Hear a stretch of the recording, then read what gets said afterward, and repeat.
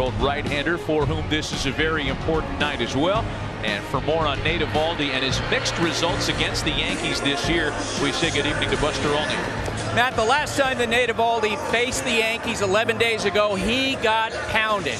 His splitter wasn't good. His slider wasn't good. Seven runs allowed in two and two-thirds innings. Got just three swings and misses among 59 pitches. Now, Red Sox manager Alex Cora said he's the best guy to start this game. He's been their best pitcher. He's an all-star. But tonight, Matt, count the swings and misses. They will tell a story about Eovaldi's stuff.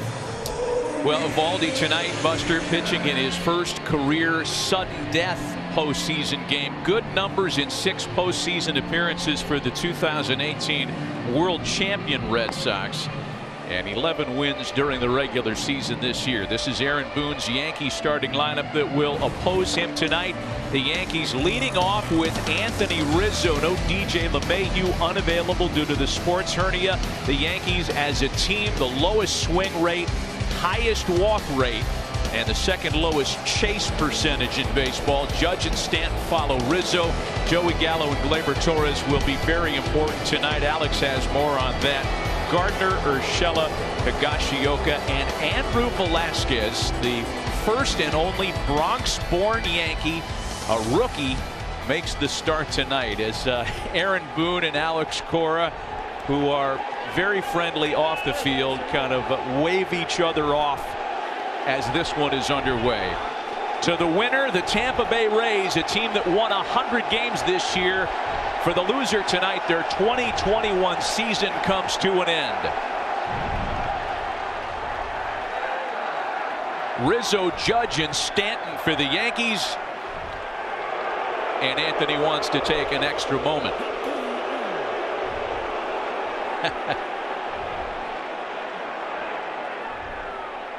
Crowd on its feet for the first pitch, and Rizzo takes a one-hopper down to Bobby Dalbec for the first out. Hit it hard, but right at the Boston first baseman.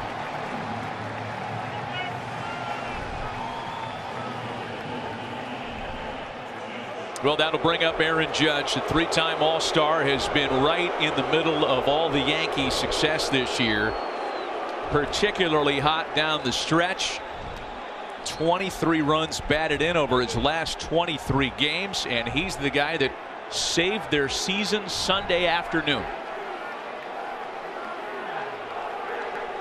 He has been the best player from day one to 162. And if it wasn't for a couple other players, Ohtani and Guerrero, he would be your American League MVP.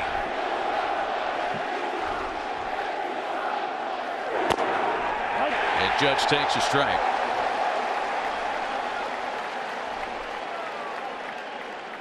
That game-winning RBI against the Rays on Sunday in the Bronx was Judge's eighth go-ahead hit in the eighth inning or later this year. It's a Yankees modern franchise record. And they're two out here for Nate Eovaldi.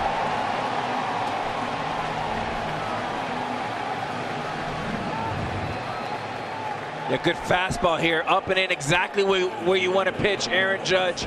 98 up and tight, crowding the big 6'7", 282 right fielder. Buster talked about the importance of Nate Eovaldi's fastball. Both of his outs have come on heaters to start the game so far. And on a crisp, seasonably chilly 60 degree night, the heater could play even bigger tonight. And here's Stanton offering at the first pitch and fouling it back. Well, the last time the Yankees were in Boston, this guy was a one-man wrecking crew. Had a 7 for 12 weekend series, which included three homers and 10 runs batted in. That's why, for me, all the pressure is on the guy on deck, Joey Gallo, who has to protect both Stanton and Judge, and a guy who has struggled mightily looking. Oh, he got another one. He got another one. No, it's off the monster. And Stanton, who'd put it into the home run trot, thinking the same thing I was, is satisfied with a single. Oh, my.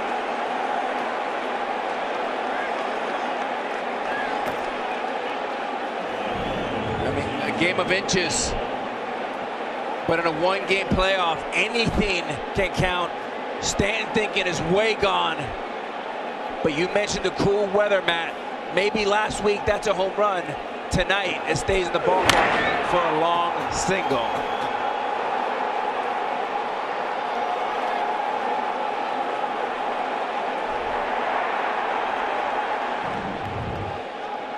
Well, Fenway Park can uh, giveth and Fenway Park can taketh away. And now it's Joey Gallo.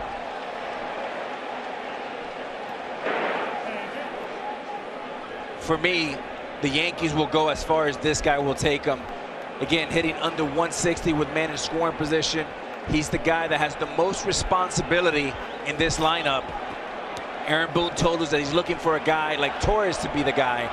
But first, Gallo has to have productive at-bats, pass the baton, or get on base. It's 0-2 to Gallo. And that's the landing spot for the Red Sox. They have a nice landing spot with Judge and Stanton. If the game is on the line, there's no reason to give Judge or Stanton something to hit. This is where you land every time if you're the Red Sox. Seven pitches, all of them strikes by Eovaldi as he misses for the first time. Stanton hit a cutter for a home run to right center. He hit a cutter and almost put a hole in that wall. If you're Nathan Eovaldi, take that cutter and throw it away. Attack Stanton next time. Fastball's up and splits down. No more cement mix. Joey Gallo led the American League in walks and strikeouts this year between his time with the Rangers and the Yankees. Of course, traded to the Bronx at the deadline. A part of the Yankees effort to improve their left-handed hitting component which was virtually non-existent before the acquisitions of Rizzo and Gallo. Yeah, an R&D acquisition for the Yankees and their front office, assuming that the exit velocity would be a big part. But in order to have exit velocity, you have to make contact. And Gallo has not made a lot of contact since becoming a Yankee. Matt, you mentioned Nathan Eovaldi filling the strike zone. Look, that, uh, as Aaron Boone said, you know, that's part of what makes Eovaldi great as a pitcher, but it also works well for the Red Sox. If he can be efficient in getting through innings here, potentially he goes deeper in the game for a team that has struggled with bullpen depth. Well, the Yankees have made that a little easier, swinging really aggressively.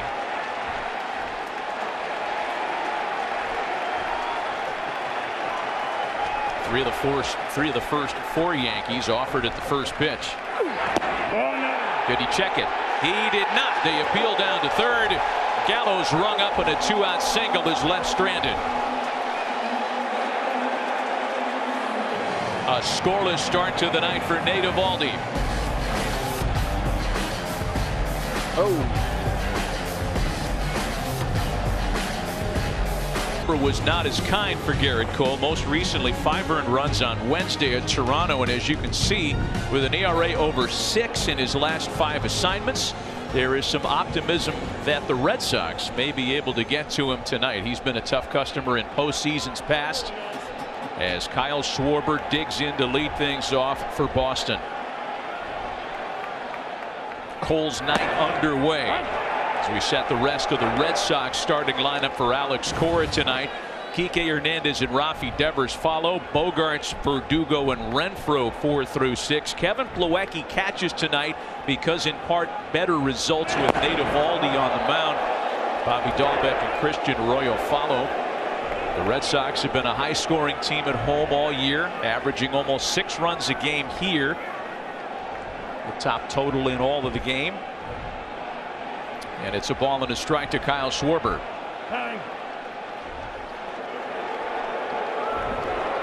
Guys, Kyle Schwarber told me that he got a phone call late last night from Alex Cora that he would be the leadoff hitter. He said that when he's in this spot, changes nothing about his approach to the plate.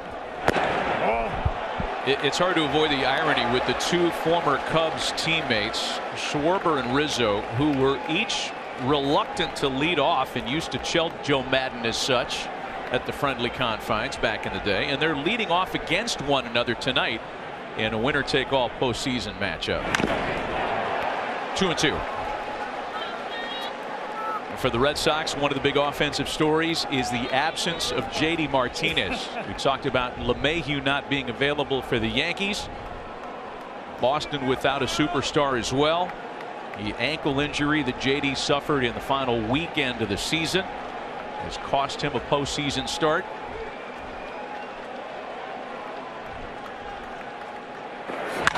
Two-two to Schwarber, a high fly ball out to center field for Gardner.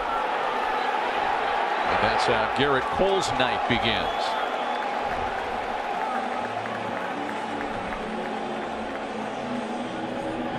A good fastball here, good pitch to hit, two strikes. And Schwarber, that's one that he's going to shake his head over.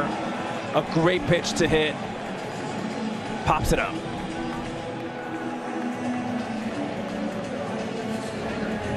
Garrett Cole has had his ups and downs in October. He got knocked around by the Cubs in 2015, got knocked around hard by the Red Sox on their way to the World Series in 18. But this is a different Gerrit Cole. This is a pitcher that's more mature, more north and south. That Gerrit Cole was more east and west with sinkers and sliders. Today's Gerrit Cole is fastballs up, curveball, and changeup. Kike Hernandez ended the season in good offensive shape, a multi-hit game in five of his last eight starts down the stretch. There's an infield pop. Torres has it for out number two.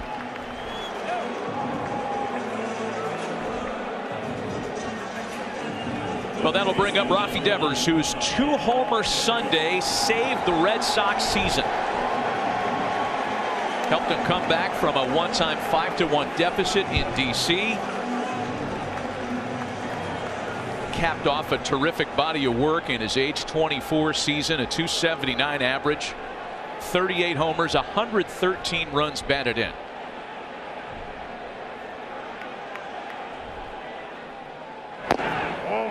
Boy, there's some pretty good history here for Devers. Three home runs against Gerrit Cole, matching the most he's hit against any pitcher in his major league career. And that on the heels of an 0 for 8 head to head start against the Yankee right hander. Two of those home runs on fastballs. One to one. Mark Carlson is the home plate umpire tonight. Again, a six-man crew throughout the postseason.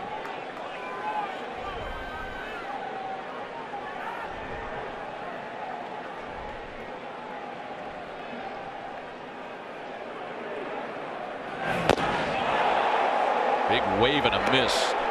Let's talk about Mark Carlson's umpiring tendencies, Alex, and how it might affect the game tonight. Yeah, and, and for Gerrit Cole, it's arm side, right? That's the side where he feels most comfortable.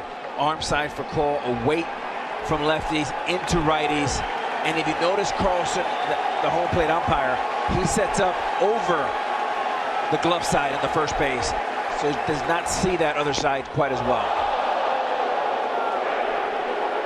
That narrowly missed Devers. Coming in hot, too, with a 99 mile an hour fastball. It's a little wake-up call, not only for Devers, but for the entire lineup. Say, hey, it's going to be a different day here tonight.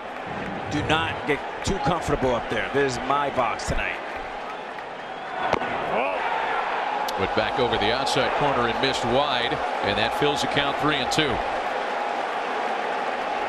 So Devers has done a nice job of climbing out of a 1-2 hole. The key here is keep that same discipline. You had 1-2 and 2-2. Don't get overexcited and chase something right now. Payoff pitch. Lost him on ball four. So a two-out base runner on either side of the scorecard to start the first innings tonight. And a chance for the three-time All-Star Xander Bogaerts. And that walk there is not a coincidence. You know, when you go over the scout reports, there's always one guy you circle. And for the Red Sox, is Devers. So when in doubt, two outs, do not get beat by Devers. Go to Bogaerts, who is not swinging the bat as well. For the Yankees, they have the two monuments, Stanton and Judge. Be very careful with them and go right at Gallo every single time.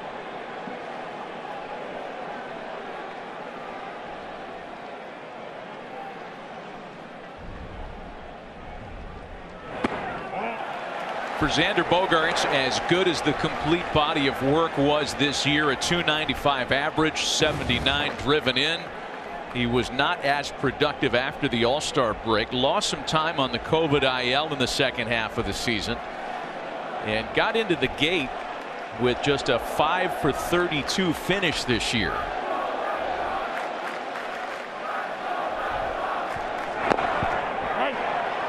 One and one there are those that firmly believe, and you played in enough of these games, that it really didn't matter what happened at the moment you got to the postseason. It is a fresh start. Do you buy that? Absolutely, and anything can happen. And the danger of a one-game playoff, you play 162, and the recourse that with 27 outs you can go home, and the winner goes home. It's a great theater for baseball, for us broadcasting it, for the fans watching it but it's, it's miserable for the player because you know that if you have a bad game, a bad play, you're gone.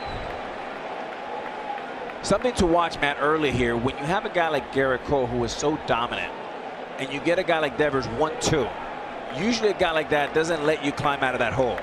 So the fact, A, that he walked him is a sign to watch. Maybe he does not have his good stuff. And when he shows that, you want to get him early. 2-1 pitch. Bogart sends a drive to center field and deep. Gardner turns around and watches it fly.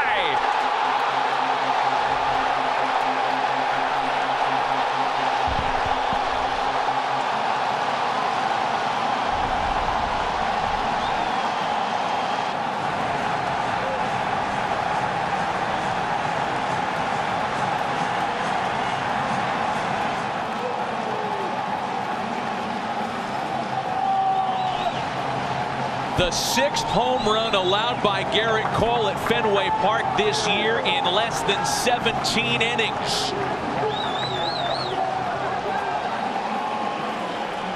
Bogaerts, who ended the season cold, gets red hot. And to your point, Matt, the season's over. New season, new pitch, and a new start here for the Red Sox up 2-0. Not the fastball, but the secondary pitch. And we talked about the Devers at bat. Alex Verdugo next, and he pops up on the first pitch. But the first inning damage done.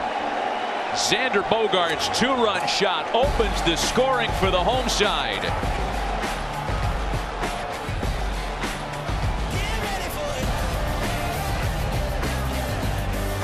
Roster. The Red Sox have had some wonky defensive moments this year.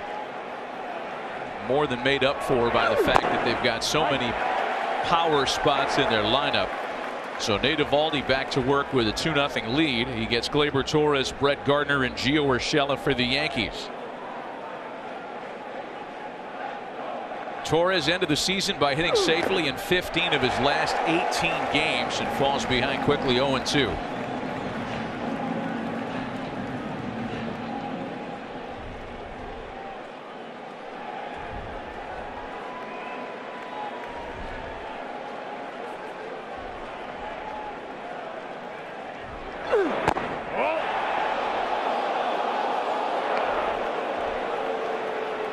Two strikes to Torres. That's the pitch Eovaldi has to watch all night long is that cutter slider. That's a dangerous pitch. Stanton hit a home run here to right field last time and almost knocked the wall down in that same pitch. That pitch right there. Well, Nate Eovaldi was the only pitcher in the game this year who threw five pitches, each with a usage rate of over 10 percent. So he has the ability to mix it up the way few can. Guy for years has relied on his fastball. There's one that misses. At one point, Eovaldi scrapped his slider, but then after reconsidering, felt like he needed another weapon to get right-handed hitters out, put it back into the arsenal this year, and it's been a good pitch for him. See what he has on 3-2 to Torres fastball that's hit out to right field. Carried a bit on Renfroe before he hauls it in. Alex, you notice that the uh, Red Sox are going with multiple signs, nobody on base. What does that tell you? Yeah, you do that in this paranoia, right? It's one game, winner goes on, loser, go, you know, goes home. You want to make sure that there's nothing being watched. These guys have played each other over 20 times if you include spring training. They know each other way too well, so not a bad idea to mix it up.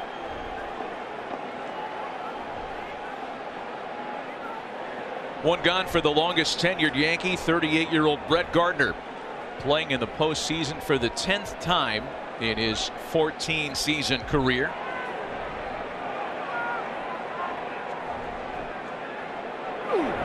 Gardner's playing in his 68th playoff game. And that's the eighth most in Yankee history. If they go on a run, he could catch Yogi Berra, who played in 75 during his Hall of Fame time as a Yankee. People always want to know how do you beat the Yankees? Is you don't walk the Yankees. In only 10 games this year, they had no walks. They were three and seven. So you're talking about the most disciplined offensive team when it comes to chase rate, the Yankees, versus the most undisciplined team in the Red Sox. But if you throw in the strike zone like Boger show us, they will hit you hit you very hard. While in two strikes, the count here to Gardner. K-zone 3D just clipped the upper outer corner of the zone. And keep an eye on that corner because that's where home plate umpire Mark Carlson loves that's his hot zone right there. Away to lefties, into righties. Up and in and missed at 100 miles an hour. But we talked about it. That's not where Mark Carlson likes to call the game. If that same pitch is on the other side, it's strike three.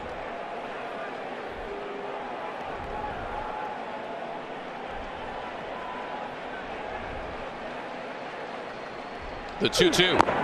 Got him. Dropped down that time. You know, Nate Eovaldi has added a little Johnny Cueto funk to his deliveries this year. He'll give you different arm angles. He'll quick pitch you. Watch him drop down to strike out Gardner here. And, and that was nasty. 80 miles an hour coming from the same tunnel as a 99 mile an hour fastball. That got him on the location and the velocity We have a revised three quarters angle there. Second strikeout of the game, and here's Gio Urshela. On the first pitch, a little dribbler. That's going to be a tough play for Plawecki. He won't be able to make it. And Urshela's aboard on a two-out infield single.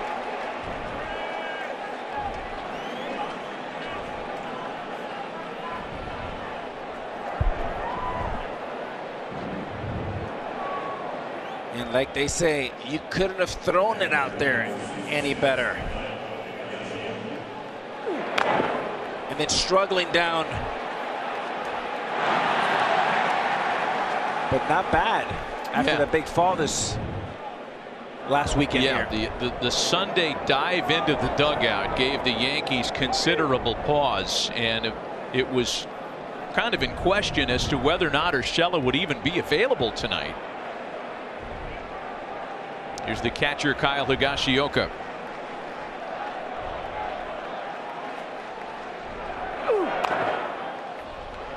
Let's take you back to Sunday's regular season finale in the Bronx against Tampa. And look at the ground covered by Urshela to try to make a play on this foul pop, which he does, and then he does a skate right into the Rays dugout. I could not help but think about the same play that Derek Jeter made going into the left center, left field bleachers. And I'm telling you, I played third base there for a long time. That is a long ways to go. I wouldn't have been 10 feet of that foul ball. Well, what we didn't see was the fact that Urshela spent a good five minutes on his back yeah. in the dugout, and there was some real concern as to his well-being. I was watching it live, and I for sure thought that he was out for the remainder of the year. And the fact he walked out on his own, I thought was a miracle and stayed in the game. 0-2 the count to Gashioka. Guys, Nathan Eovaldi in that last start he made against the Yankees on September 24th, he had a total of three swings and misses among 59 pitches. He's already got four tonight among his first 26.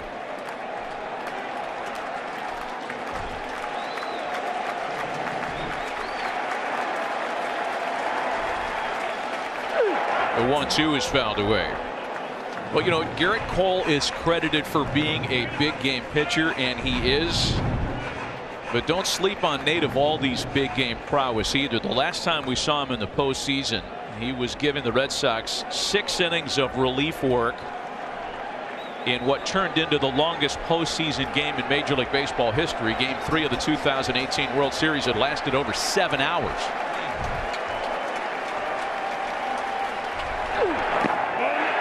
Did he check it? On the appeal, he did not. Two check swings have been rung up for strikeouts tonight for Nate Eovaldi. Another two out runner left stranded. 2 0 Boston. In Yankee franchise history, it was 18 years ago he hit that Tim Wakefield knuckleball into the left field seats in the Bronx to win game seven of the 03 ALCS. Hunter Renfroe leads things off in the Boston half of the second. 2 0 Red Sox on the Xander Bogaerts homer.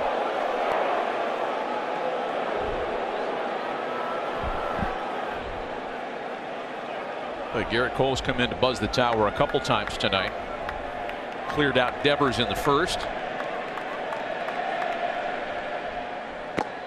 Ball and two strikes. Alex, you had that happen to you in a playoff game. Roger Clemens on the mound when you were playing for the Mariners. What's the potential impact? Well, it's not just the impact for the for the hitter, me in this case, but he was sending a message to my entire team with the Mariners, and I think that's exactly what Cole's trying to do. Fly ball into right that drops just foul, and there's not a whole lot of foul territory down there.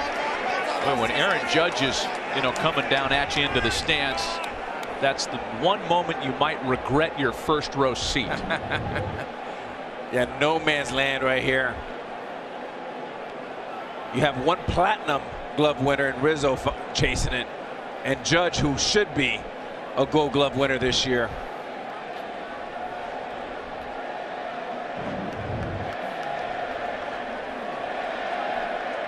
These folks still haven't sat down. And a wave and a miss by Renfroe. First strikeout of the game for Gerrit Cole. Well, here's a look at the upcoming 2021 MLB postseason schedule. Tomorrow night on TBS, 8 p.m. start for the National League wild card game between the Cardinals and the Dodgers. A good one, boy. Max Scherzer and Adam Wainwright in LA. Thursday, game one of the ALDS, the White Sox and Astros, 4 p.m. Eastern on FS1. And then on Thursday, game one between the Rays and the winner of this one, 8 p.m. Eastern, also on FS1. One gone for Kevin Plawecki. 0-1 to the Red Sox catcher no real surprise that Plawecki is starting at catcher tonight given his success with Nate Eovaldi. They have combined for an ERA about a point lower than when Christian Vazquez catches Eovaldi. And that was a tough conversation for Alex Cora as he shared with us before the game. Vazquez is such an oh. important player here and you do have a bit more offensive upside. I think it's interesting that both managers, Alex, have gone with defense first lineups tonight. Yeah, defense and comfort is what they both chose. And in both managers understand the temperature of the room, the comfort level for these pitchers.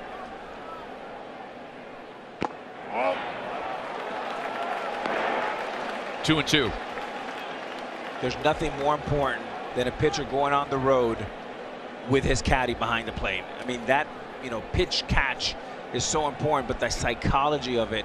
This is very hard place to play. You want to make it as easy as possible for Cole. Plawecki sends one out to right center field. Hey, so much for just being a defense first guy. Kevin Plawecki with a one out double.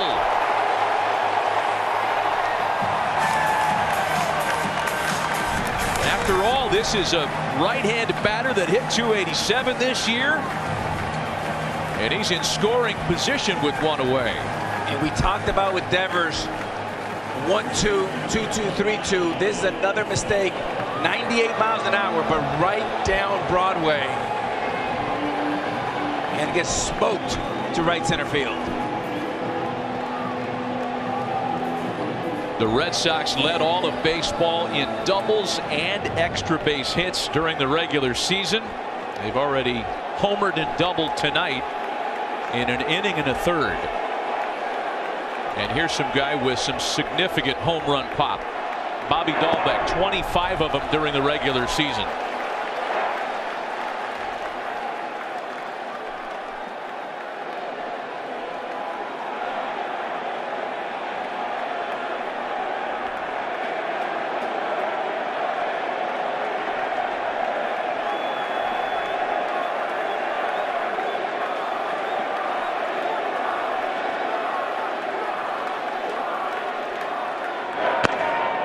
And one. And we talked about looking for signs, but right here, 2-2 pitch, fastball, 98, just a flat fastball. You see very little movement, and Gerrit Cole is too good of a pitcher to give you a pitch that good with two strikes. That should be your put away pitch. Instead, two strike double.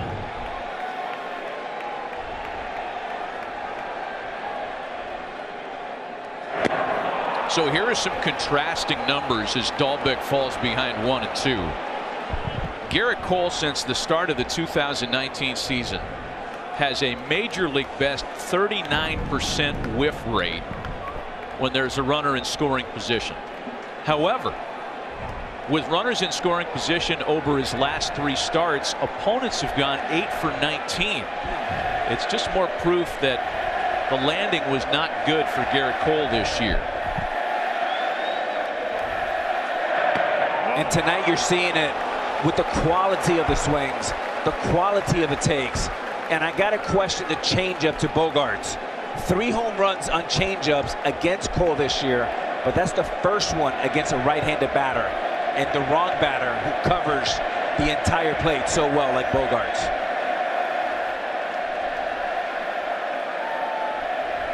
Two and two the count to Bobby Dalbec. Christian Arroyo, the number nine hitter, waiting on deck with a man in scoring position. And a swing and a tip foul that keeps Dalbec alive. There is a strikeout in Bobby Dalbec's game. As good as he was down the stretch for Boston, an OPS over 1100 in his last 40 games. 10 of his last 21 at bats have resulted in strikeouts.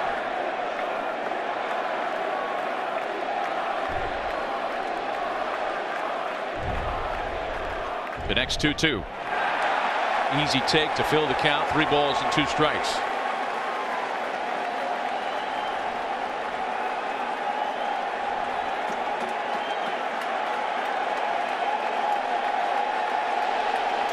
Really nice job taking that 2 2 pitch.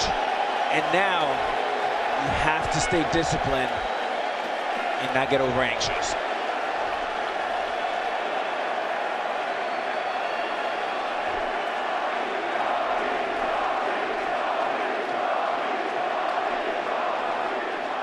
The 3 2 pitch. A called strike three.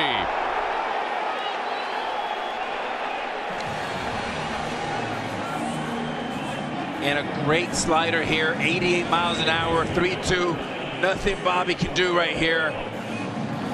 Actually, decent take and a great pitch by Cole. Best of the night.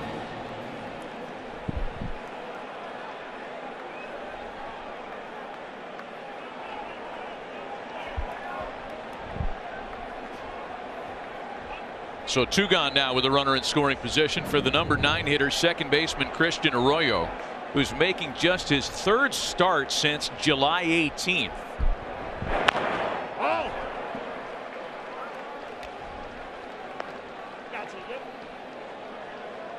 Once again, the J.D. Martinez less Red Sox looking a little bit different in this one with Arroyo in there batting ninth. Schwarber leading off different lineups offered by both managers in this one game wild card. This is not business as usual.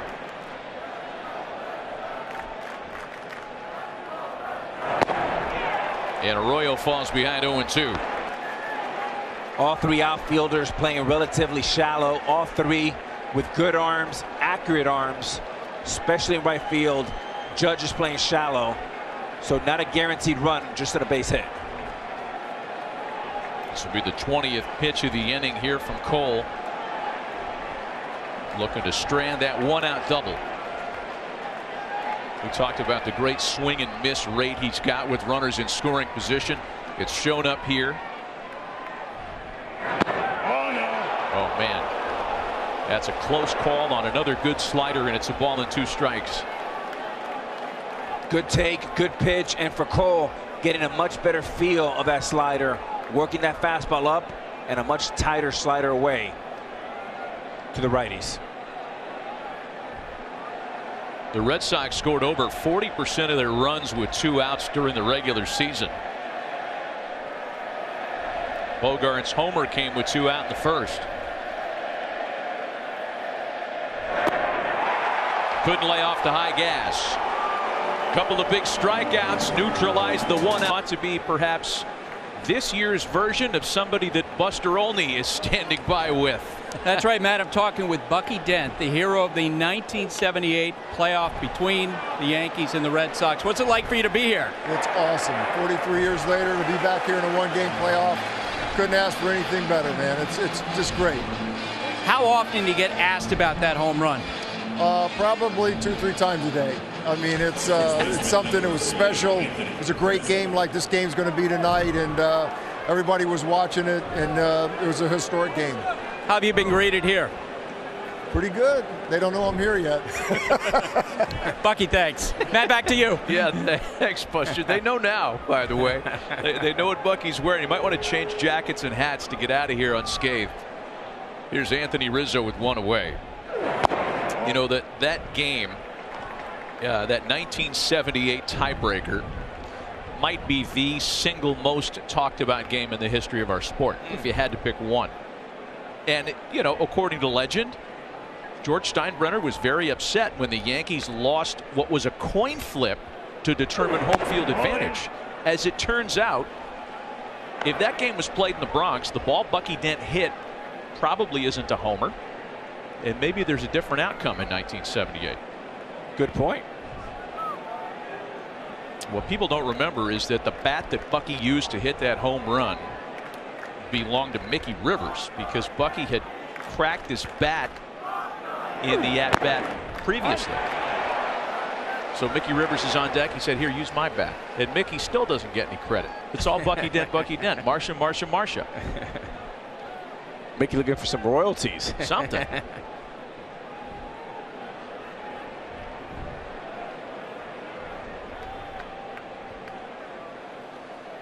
Counts two balls and a strike to Anthony Rizzo. Two and two.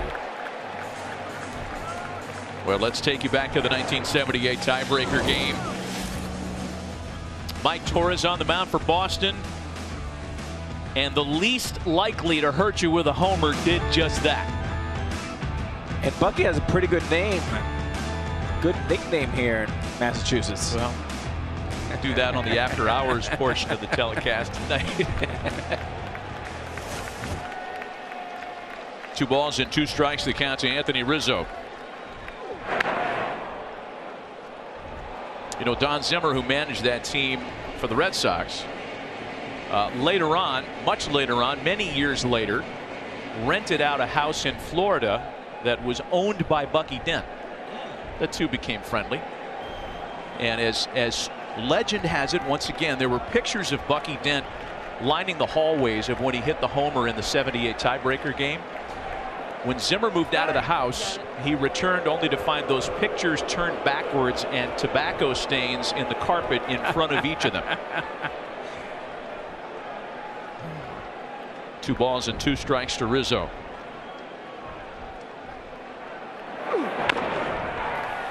And guys, Don Zimmer complained to our friend Tim Kurkjian about how there was a picture hanging over Dent's bed of that home run. And every night, Don Zimmer had to fall asleep underneath that picture.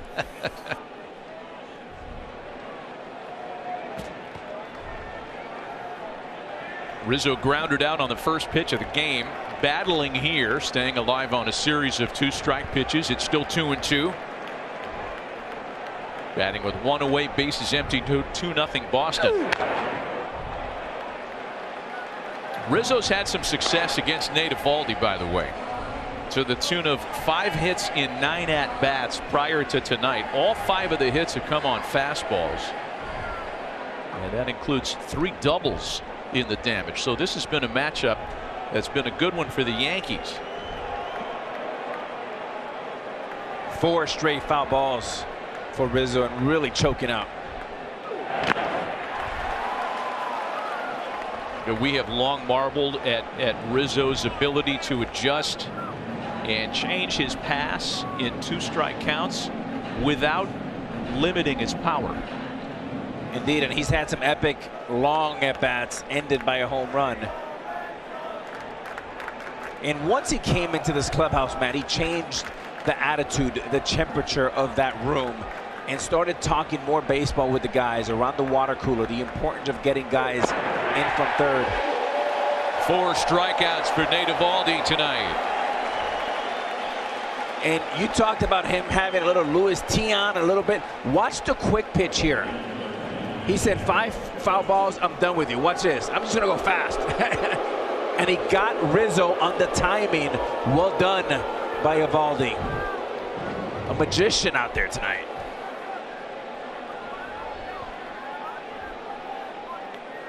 And that's just disrupting the timing of the hitter. A guy like Rizzo who has a leg kick, who has him timed perfectly. Now you go quick and you got him.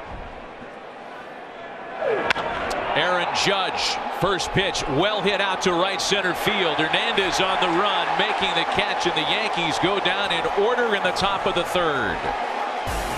We play two and a half. Still 2 nothing Boston. Specific to order, go to espnplus.com slash fury hyphen wilder hyphen three. Kyle Schwarber leads things off in the home half of inning number three. 2 0 Red Sox. Schwarber, Hernandez, and Devers for Boston against Gerrit Cole, who yielded the two run home run in the first and then pitched around a one out double in the second. And it's quickly 0 2 on Kyle Schwarber. What a big acquisition Schwarber was at the deadline acquired from the Cubs and got his Red Sox career off to a little later start with a knee injury that he was recovering from. But once healthy, he really proved the acquisition worthy. In fact, among players traded at the deadline this year, Kyle Schwarber's 957 OPS was the best. Yeah, with the universal DH perhaps coming to baseball in 2022 and him becoming a free agent, he's going to do well this winter. Oh. oh, high and deep out to right field. Judge back and watching, and it's gone!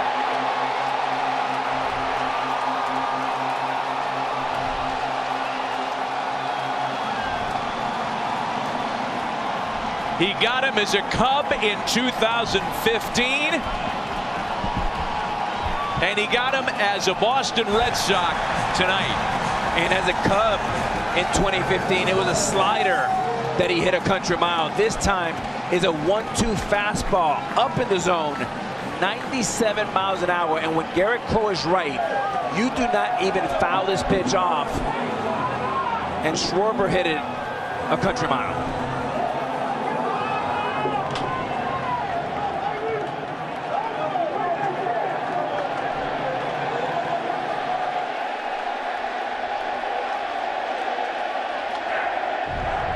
First pitch to Kike Hernandez, a little dribbler. Cole won't have a play, so one that's hit a bunch and one that's just dribbled up the line. Cole's troubles continue. Let's take you back to the homer. Now, when Cole is going well, this is a pitch you do not even think of putting in play. And to get on top of that fastball, a one-two count, it's indicative that Gerrit Cole does not have his best stuff tonight.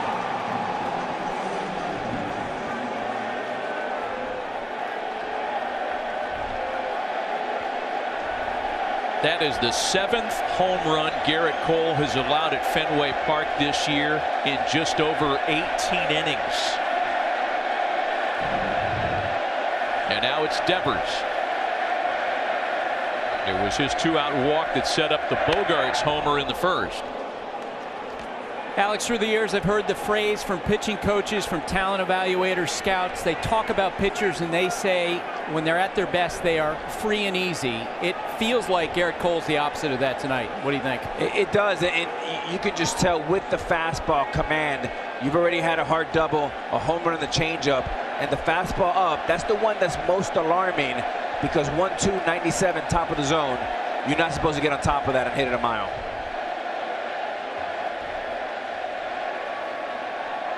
Rafi Devers is the fourth straight Red Sox hitter dating back to the second that swung at the first pitch. And you guys see Hernandez leading off first base. Look, the Red Sox and Yankees are not teams that run, but with both starting pitcher, there's a history of giving up stolen bases this year. Opponents nine for nine against Gerrit Cole.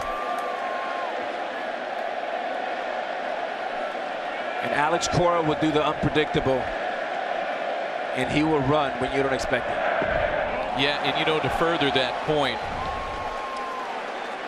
I mean, the regular season DNA patterns get thrown out the window on a night like tonight.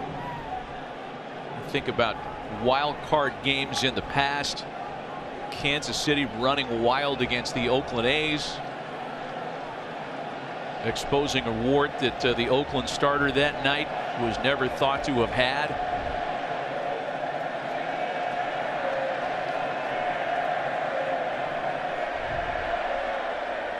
Still nobody out here in the third.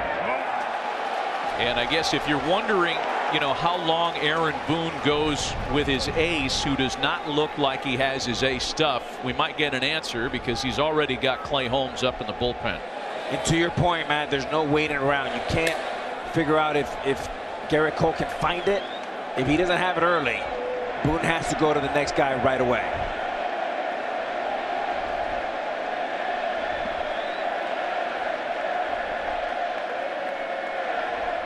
2-1 to Devers is in for a strike. Uh, we talked about the homers that Cole has allowed here at this ballpark this year.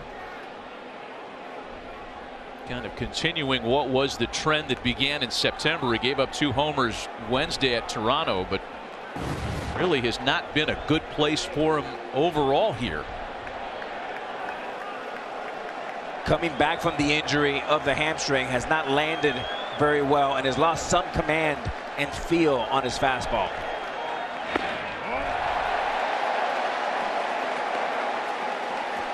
Three-two. Hernandez should be running here. Again, Devers drew very important base on balls with two out in the first. He's in another three and two count here.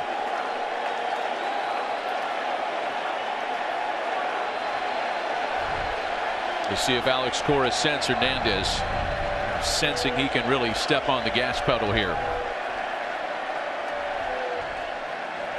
There he goes. Doesn't matter. Ball four. And Devers with another good walk, but it was his first at bat, falling behind 1-2 that led to the Bogaerts home run. 1-2, gets a 2-2, 3-2, and then lays off. Doesn't get the big hit, but gets the assist. Slider here, and then a 2-1 changeup, 89 miles an hour. A questionable pitch selection, a guy against a guy, and that's Gerrit Cole. Wow. Wow. I don't think anybody preparing for this one, evaluating this one, or previewing this one in any capacity wow. thought that Gerrit Cole was going to be gone after two plus and 50 pitches. But that's exactly what's happened tonight.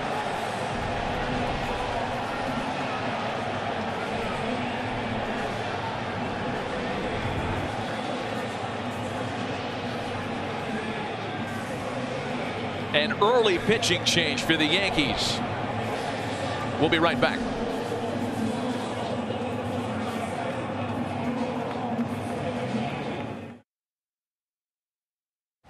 Short start from Gerrit Cole tonight.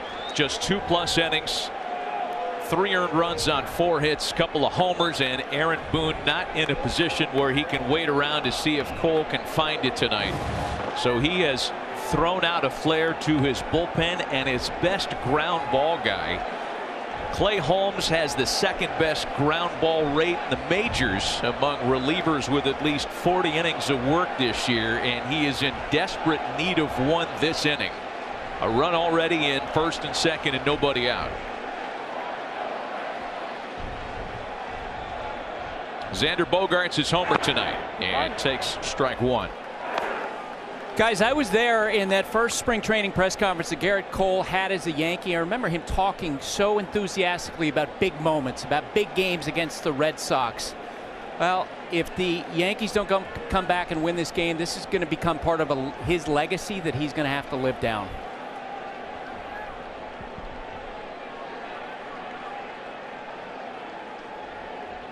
Oh and 1 the count of Bogaerts. Uh, you know what a burden that is. Until 09, uh, that was a part of your narrative. No question. Uh, you know, Matt and Buster. I mean, look, uh, the Yankees are saying $36 million a year, 324 over nine is supposed to get you more than six outs here in October in the biggest game. This is why we brought you here. And look, there's health issues. I can't speak for Gerrit Cole, but that's something he's definitely going to have to answer this year and in years to come. There was the hamstring strain that happened in Toronto in early September. The numbers weren't very good since that point. 0-2 the count of Bogaerts. But a good block by Higashioka to prevent that one from getting to the fence. For Clay Holmes, by the way, another ex-Pirate relieving an ex-Pirate. He has really turned into an even better high leverage guy since joining the Yankees. Strikeout rate is up, walk rate is down.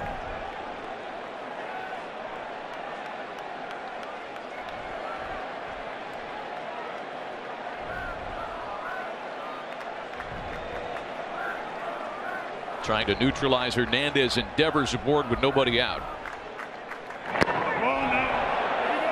And on the appeal, another punch out. Every appeal has gone the way of a pitcher so far tonight. It's true on both sides of the scorecard, one away.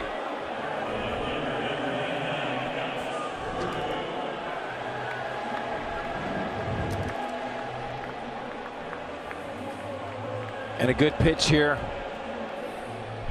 Oh, man. Yeah, too close. You got him going around? I do. Okay.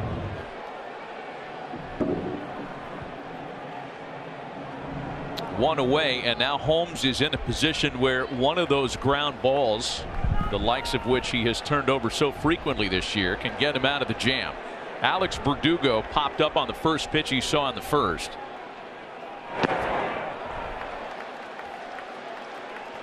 You know, after the trade that brought Holmes to the Yankees, a lot of people around baseball were saying, man, how did this happen? How did the Yankees get their hands on a guy who's so good? Well, he wasn't as effective in Pittsburgh, and it's been a change of the repertoire, just a tweak with the Yankees that's given him more success. Ditched his curveball. He's thrown more sinkers since coming to the Bronx, and the results have been outstanding. On the ground for Urshela. To Torres for one. There's the ground ball, and there's the double play. Exactly what Aaron Boone envisioned when he made the early change to the bullpen. However, another Boston homer has upped their early advantage. It's 3 0 Red Sox. Joining us for a visit. Booney, let's talk about the pitching change. It, it achieved the desired result, but what did you evaluate when you made the call to remove Cole early? Just felt like it was time. We're, we're set up back there and going through a tough part of the lineup. And, um, you know, I just felt like it was, you know, I, I, felt like Holmes could put the ball on the ground in that situation. And, and we got to keep this thing in check right now. I just felt like it was time. Was there anything wrong with Gerrit physically, or was that just performance based? No, it was just just uh, just call that I made to to go to the pen there. Nothing physically. Booney, it seems like you're set up, though. It's 3-0, but you have your full bullpen, Severino. Everybody's fresh.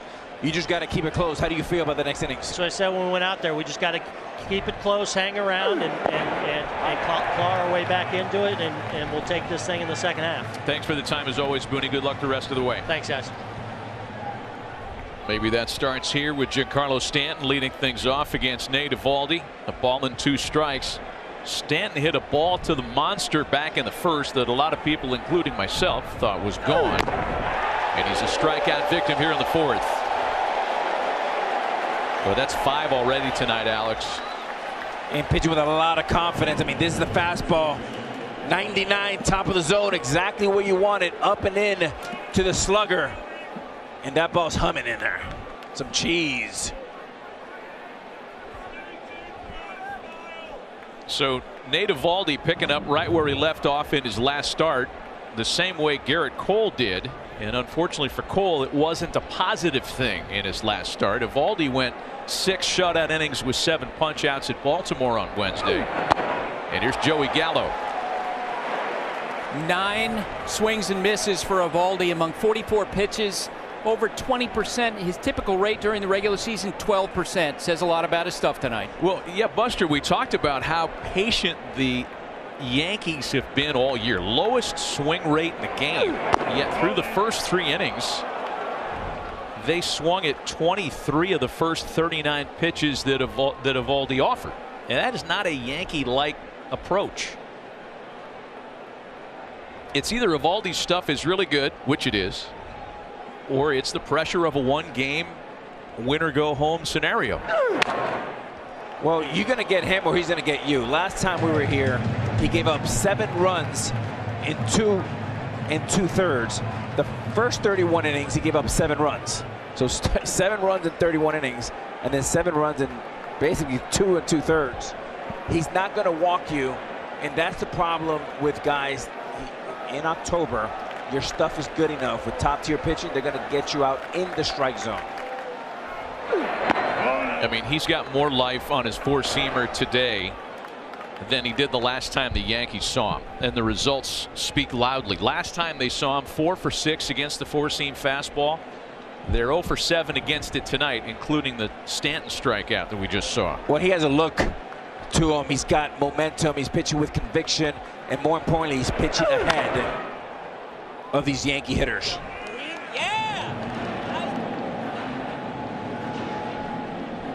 Well, and he's someone who's at the absolute heart of that Red Sox clubhouse, as Alex Cora described before the game. And everyone's always going to remember his performance. Game three, 2018 World Series, throws six innings in extra innings, just going out inning after inning. And when it was over, even after the Red Sox lost, Alex Cora got everyone gathered in the clubhouse, told the players, look, this is something we need to celebrate. And they gave Eovaldi a standing ovation.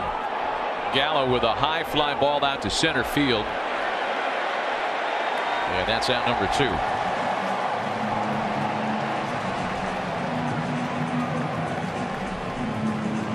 Hey, we want to welcome Boston Bruin teammates Charlie McAvoy and Charlie Coyle to tonight's game and remind you to make sure to catch them and all the other amazing NHL stars across all our platforms ESPN, ESPN Plus, Hulu, and ABC this season. And don't miss the NHL opening night doubleheader next Tuesday, the 12th on ESPN and ESPN Plus.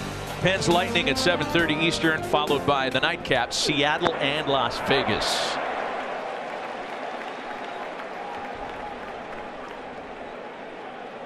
Oh, and one the count to Gleyber Torres, who lined to right in his first at bat.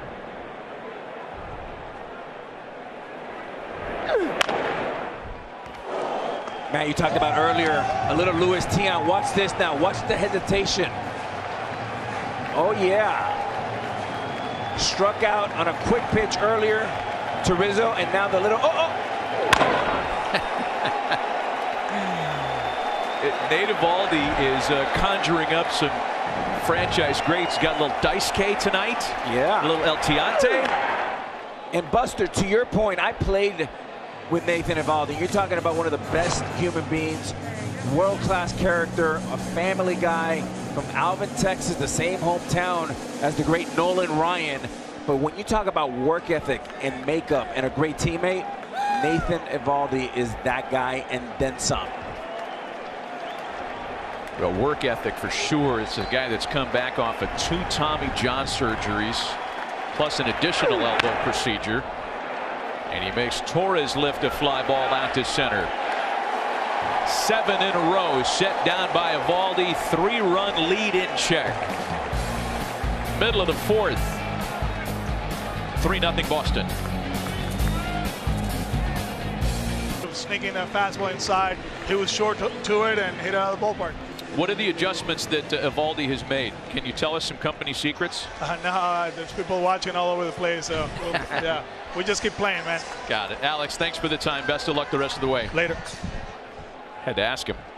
Fair. I mean, he, he's open for a long, deep run here, and he doesn't want to give anything away at this stage of the game. Understandable. Hunter Renfroe leads things off in the fourth inning for Boston. Renfroe, Plawecki, and Dalbec. What, what do you think the difference has been between tonight and Eovaldi's last go around with New York? Assuming there's nothing with, you know, giving away signs or tipping perhaps, you know, in the glove or anything like that. You take all that away. Sometimes it could be a mechanical adjustment or just the way you attack these Yankee hitters. And today, it looks like he's been a lot more aggressive with the four-seamer up riding and the split down. And that little cement mixer, he's kind of put it away. That's been a nice adjustment for Eovaldi. Hunter Renfroe was a strikeout victim in his first at bat. That came against Gerrit Cole, who again lasted just two plus tonight. Clay Holmes came out of the bullpen with a run in, runners at first and second, struck out Bogaerts, and then got Verdugo to hit into a double play. And Holmes gets a second inning, though there are two relievers up in the Yankee bullpen behind him. Wandy Peralta, Luis Severino both getting hot. It's been two home runs tonight. Xander Bogaerts with a two-run shot in the first. And then Kyle Schwarber, a solo homer leading off the third. Matt, don't forget that it, it, was in 2003 in that game seven where Aaron Boone was the hero and hit the home run. The Yankees were down 4-0. How about that for beating the shift? Wow. With two strikes, the Yankees loaded up the left side of the infield. And Hunter Renfroe said, I'll just take it the other way. That is a thing of beauty for Boston. I mean, good baseball here, not trying to do too much. No launch angle, no exit velocity, just good down to the nose baseball. Hit them where they ain't. And going back to that 2003, uh, when Aaron Boone hit the home run, we talked about 18 years ago. You know, Yankees were down 4-0, and it was Mike Mussina, number 35, who came in that game, got an out, and got the big double play with Johnny Damon to Jeter. And, of course, they came back and won the game. So if you're the Yankees, you just got to keep them right there you have an advantage with the bullpen. Keep it close. Here's Kevin Plawecki now, who doubled with one away in the second and then was left stranded.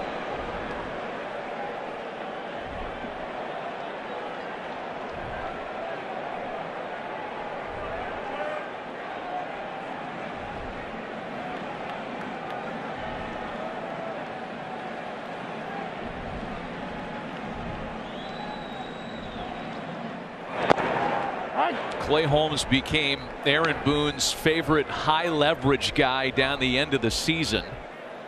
Lo and behold, a high leverage relief opportunity struck a lot earlier than the Yankees would have preferred. So far, so good from Holmes.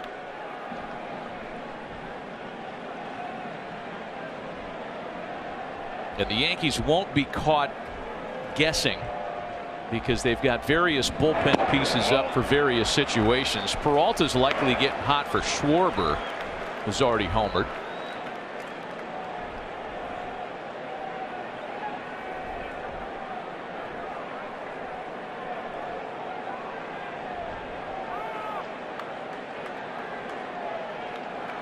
Urshela's in at third.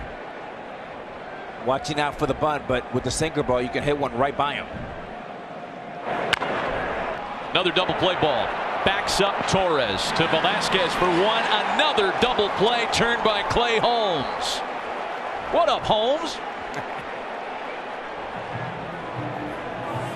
Torres is just so much more comfortable at second base. Watch the drop step right here. Very nice. Good internal clock, a strike, and another strike.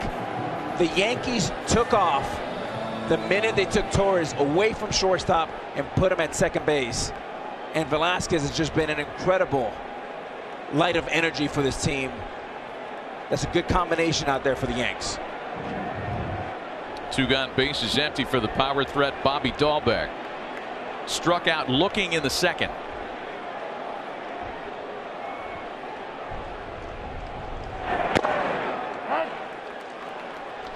The first step for the Yankees getting back in this thing is hold down the Red Sox, and so far so good for Holmes. But there's a lot of a lot of road to hoe. The next step is going to be figuring out how to get Nate Eovaldi out of the game.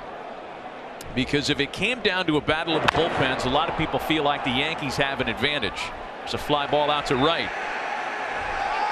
Nothing comes of the leadoff single. Red Sox go down in order in the fourth.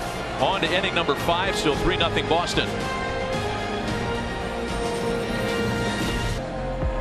Back with Alex Rodriguez and Buster Olney, Matt Vasgersian, and a 3 0 Boston lead as the Yankees dig in for the top of the fifth with Brett Gardner, Gio Urshela, and Kyle Higashioka. A couple of homers and Nate Eovaldi, and that spells the Boston advantage through the first half of the night. Slow breaking ball taken for strike one. At some point tonight, the Yankee lineup is going to, at part, go back to being the Yankee lineup. Been much more aggressive tonight than they had during the regular season. Again, they had the lowest swing rate in baseball for 162 games at 44%. Tonight, it's over 60%. You tip your cap in part to Eovaldi, who's always in the strike zone. That's probably a part of the answer. But, you know, you wonder about the one game win or die ramifications tonight and how that gets in a, a player's mind. Yeah, the, the, the, Yankees have always had a bully mentality offense, which means if you run away from them, eventually, like they did here uh, a couple, you know, 10 days ago, Stanton home run, grand slam, three run homer, all those were set up by walks. When the Yankees have not walked this year, there's been 10 games, they're 3 and 10. Um, Three balls and a strike to count to Gardner, the closest they've been to a base on balls tonight.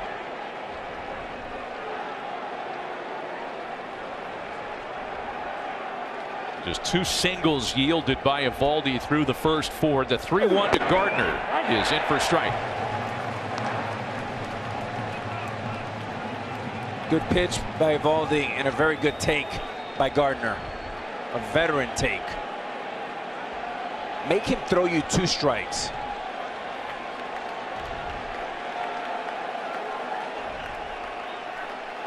The full count pitch. Got him swinging. Another strikeout for Eovaldi on a pitch that's in the zone. Six of them tonight. The Yankees don't chase, but if you go in their little box, they will swing and miss. Here's the 3-1. Excellent pitch, good take, and 3-2 even better live on the fastball. But another strike and a pitch that Gardner cannot take. I mean, that's just a perfect pitch. And that's 10 swings and misses generated by Eovaldi tonight. First pitch to Gio Urshela's line softly out to left, and there are two gone in the fifth. Guys, let me tell you a story about Eovaldi's personality. He, of course, has had so many injuries during the course of his career, a couple Tommy John surgeries. And at the time the Red Sox signed him to that four-year, $68 million deal, his agent called him, telling the news the deal, and then he asked him, hey, where are you? Uh, I'm on my roof changing the Christmas lights, putting them on. Putting them on. His agent said, "You know what? Maybe you can get somebody else to put your lights up." Yeah. Hey, uh, okay, Clark Griswold, get off the roof. oh. we don't need. We don't need this contract in jeopardy now, among other things. Yeah. Not even Geico Insurance can help you there. but that is the humility of Nathan Eovaldi. Ball and no strikes the count to Kyle Higashioka.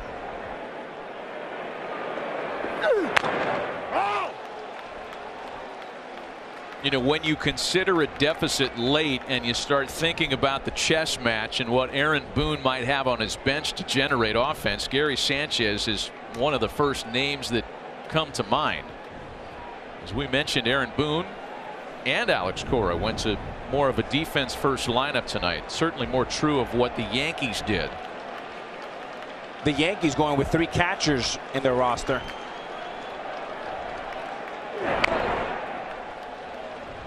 And it's a ball and two strikes.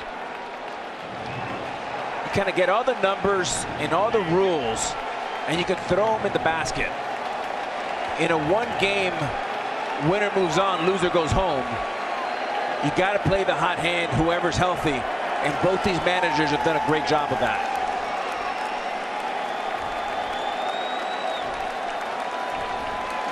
Rarely can you say, Matt, that the most valuable person in an entire organization is not a player is Alex Cora.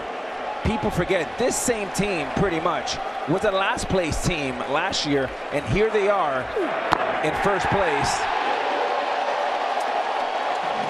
Second time Higashioka struck out on a breaking ball, and that's seven tonight for Nate Eovaldi. Still 3 nothing Boston.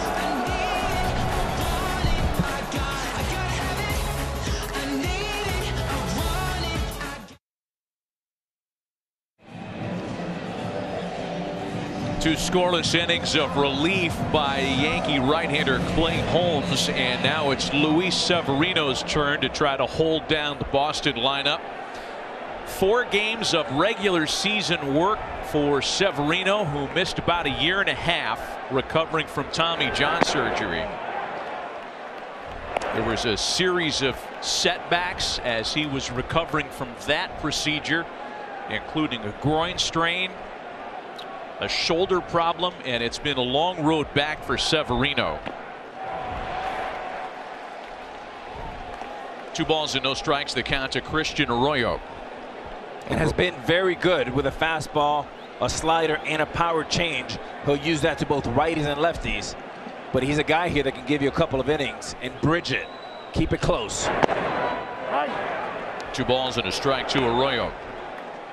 He'll be followed by Kyle Schwarber and Kike Hernandez.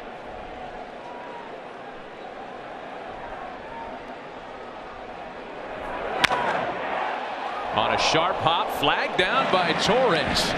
that was a much tougher chance than he made it look.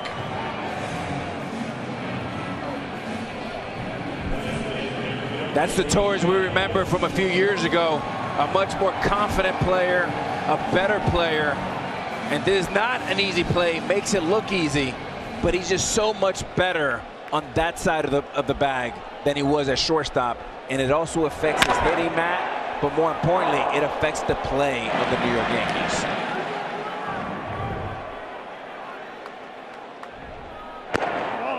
So now Schwarber 41 games as a Boston Red Sox. Hit 291 and a 957 OPS after the trade from Washington. I think I might have mentioned earlier the trade from the Cubs, of course, acquired from the Nationals, where he put together an all-star first half of the season.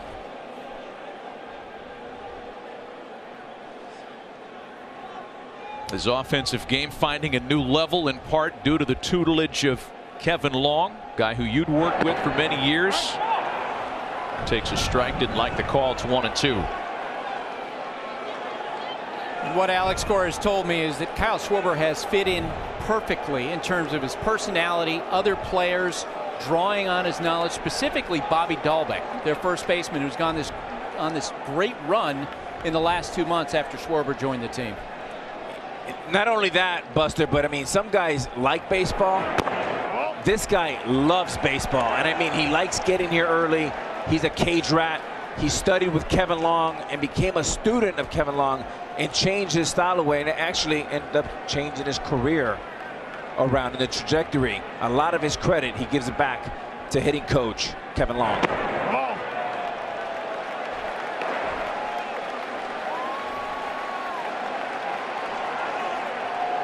This guy who knows the strike zone pretty well too.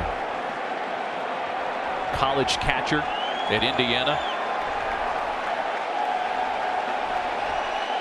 By the way, in the lineup tonight with a Boilermaker and Kevin Plawecki. Peaceful coexistence.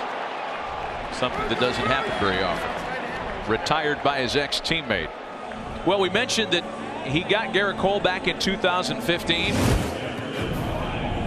That is a Cub. Slider that went right into his swing path. Into the Allegheny. And he got him again tonight.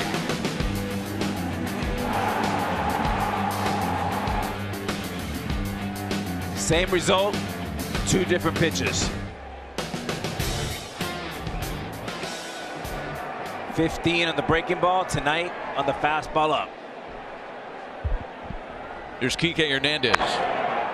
You remember the magic he had in 2016. I mean, he missed virtually the entire year, came back to play in the postseason with the Cubs, and went crazy. And there was an aura around Kyle Schwarber as a postseason star that was real that year. Well, remember, he got hurt. They flew him in, and it was like the savior flew in. Yeah, people were like, this dude hasn't played all year. Came back just for the World Series and made a real impact.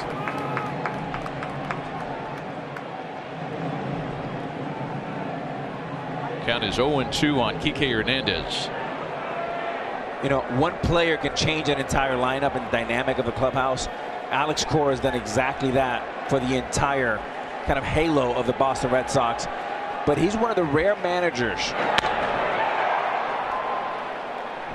that walks around and feels the energy and is very connected to his 26-man roster. Severino gets the Red Sox in order in the fifth.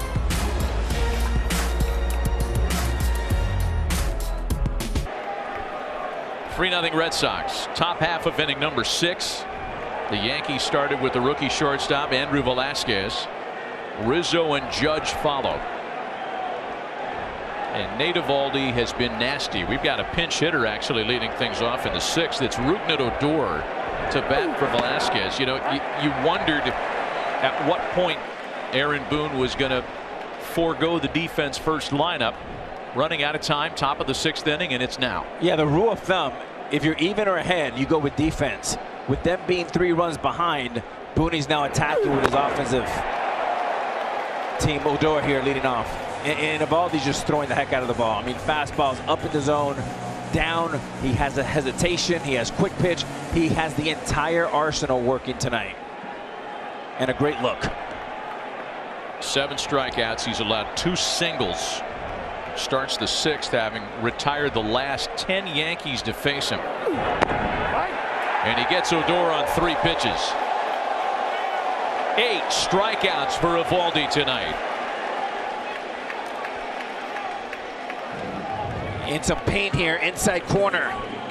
A little split, 91. The tumble and the frame.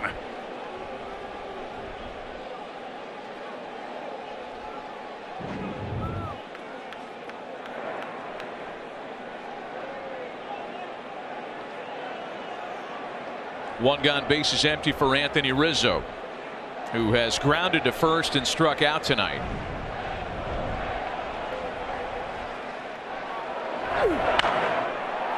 Grounded to first, struck out, and hit one near the pesky pole that's got a chance, and that one's gone. A home run for Anthony Rizzo.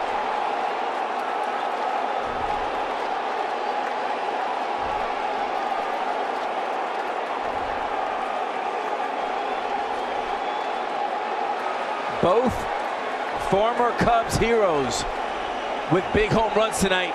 Both playing first base, both leading off. And it was the breaking ball this time for Rizzo. Watch him wait for it and then deliver the blow. And focus on the back knee going down to the ground. Showing tremendous force and the Yankees are in business.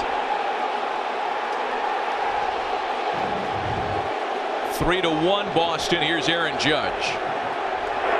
You know, when we were preparing for this one tonight, Buster Olney made the observation that with all the foul balls that Anthony Rizzo hits up the line in right field, Fenway Park could be a perfect place for him because that pesky pole gives you a few extra feet to keep the ball fair, Buster, and it happened. That's right, 302 feet eh, two feet down the right field line, and in the two months he's been with the Yankees because he crowds the plate, tries to take the inside part of the plate away from pitchers. He hits a ton of foul balls. Here, much more forgiving. On a couple of hops for Bogaerts, who's got to hurry, and Judge beats it out. Perhaps a little bit of momentum going the way of the visitors here in the sixth inning.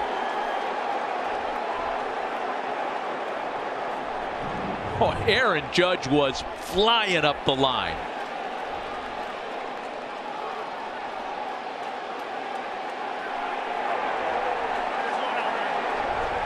There is activity in the Boston bullpen for the first time tonight.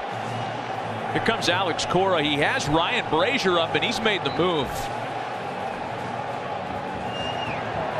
The first sign of trouble. And Eovaldi, who was spectacular through five innings, leaves the Red Sox leading by a pair. First Boston pitching change of the night, and we'll be right back.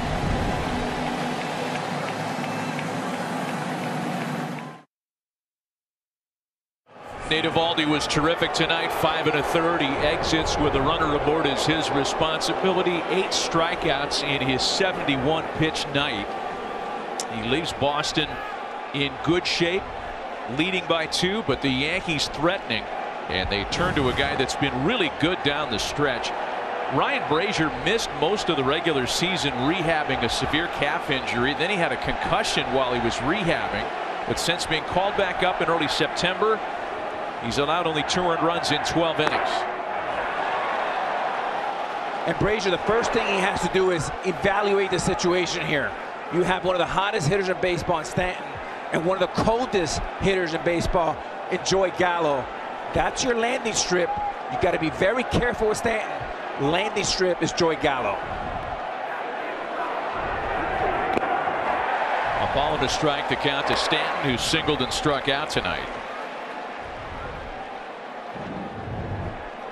Stanton thinking tie ball game here, just a little late and behind on it.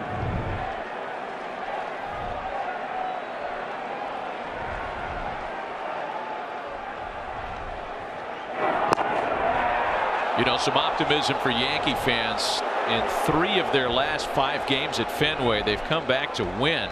And all of those rallies didn't start until the eighth inning or later. Got a long way to go tonight.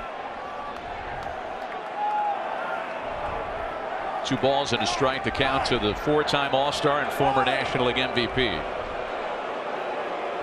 You know a little bit more on Ryan Brasier and and how much Alex Cora relied on him down the stretch. He actually pitched him on four straight days through the final weekend of the season. Slider his favorite weapon. Stanton hits one to the monster again. And that one's off the top of the wall. Judge streaking around third. The throw to the plate is in time to get him. Perfect execution by the Red Sox.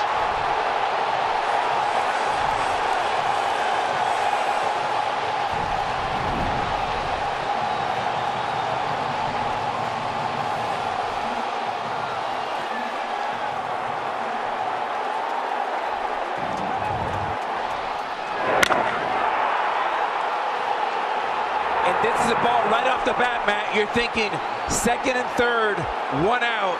I cannot believe that Phil Nevin sent Aaron Judge. And now the Red Sox want the exact matchup they want with two outs and facing their weak link here in Joey Gallo, a guy that's been very, very cold with men in scoring position. It's got to be closer than that, right, Alex?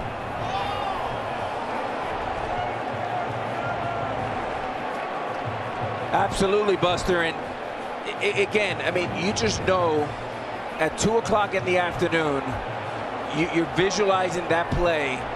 If you're Phil Nevin, anything off the wall, unless something unusual happened and it hits the ladder and it goes way left or way right, it's second and third with one out. You don't have to overthink that one. That one's right in front of you. I'm surprised of the magnitude of that mistake in this situation.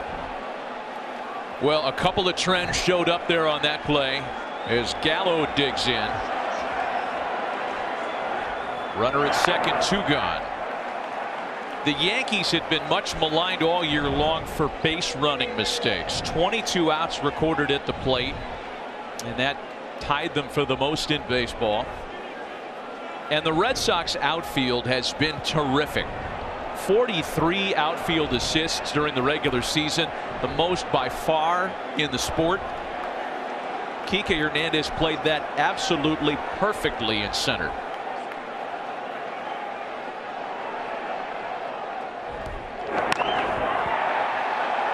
Gallo lifts a high fly ball toward the stands, and that'll get out of play. You're absolutely right, Matt. I mean, that was a strike from Kike Hernandez, two Bogaerts, and a perfect throw to the plate. Now, here's the plays right in front of you. Nevin should have his, and that's the mistake, right? It's a little bit reactive and not proactive. If we, we're going to play that again, and we're going to show you when that Phil Nevin should have had his hands up right away.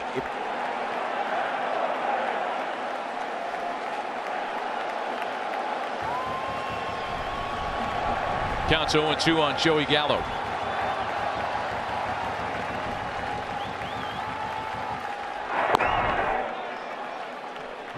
To show you where Phil Nevin should have his hands up. And right around here, if we pause it, he should have your hands up. And there should be no question. Second and third, one out. Hands should be up. He's thinking, he's thinking, and now he makes a mistake. And that's why these games are so special because you see unusual things when the heartbeat is racing really, really fast. The, un the improbable happens. And that's what happened right there with Nevin. Gallo pops it up.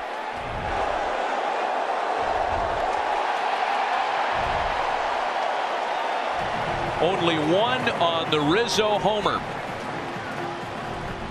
Base, though he is positioned in shallow right in the shift against Devers, and that slides Urshela back over to shortstop.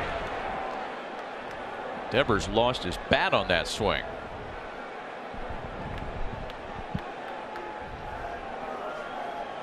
The Yankees do get through on the scoreboard on the Rizzo homer but you get the feeling they left a little meat on the bone in that top of the inning. So in the bottom of the sixth inning, a three to one Boston lead for Devers, Bogaerts, and Verdugo.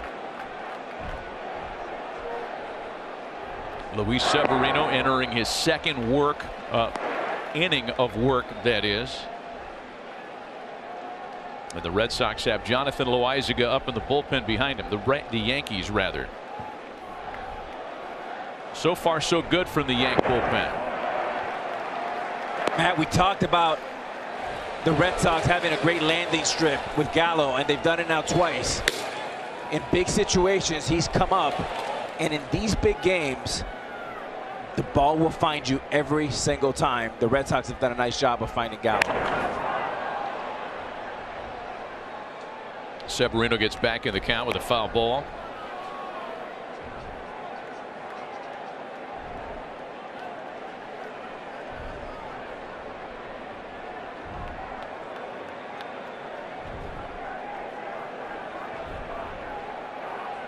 Two balls and two strikes. Devers has walked twice tonight. Scored in front of the Bogaerts homer in the first.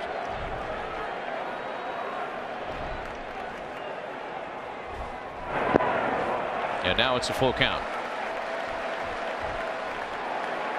By the way, that ball that Stanton hit is a homer in 11 of the 30 ballparks in Major League Baseball. I mean, that was a rocket. Smoked. He's hit a couple of those tonight.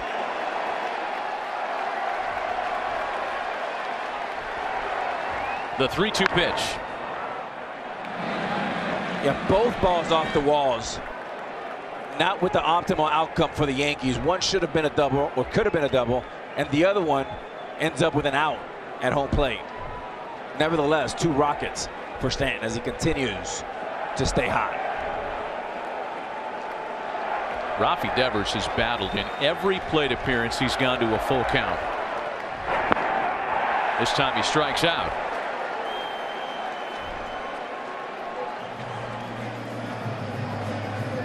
Xander Bogart is plus three runs tonight.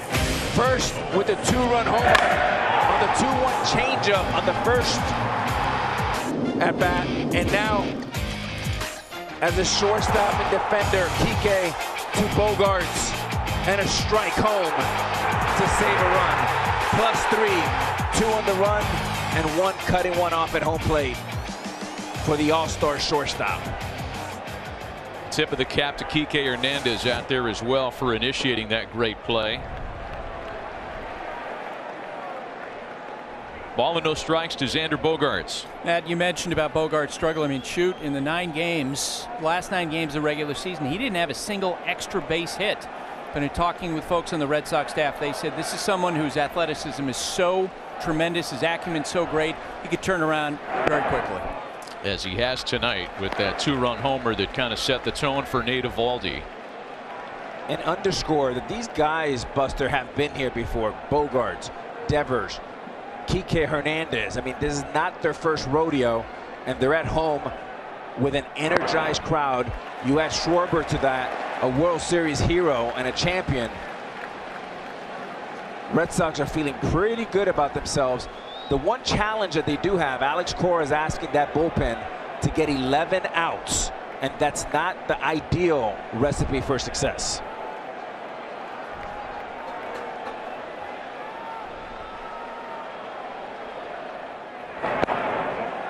And there's ball four. So Severino, after striking out Devers, loses Bogaerts on a four pitch walk.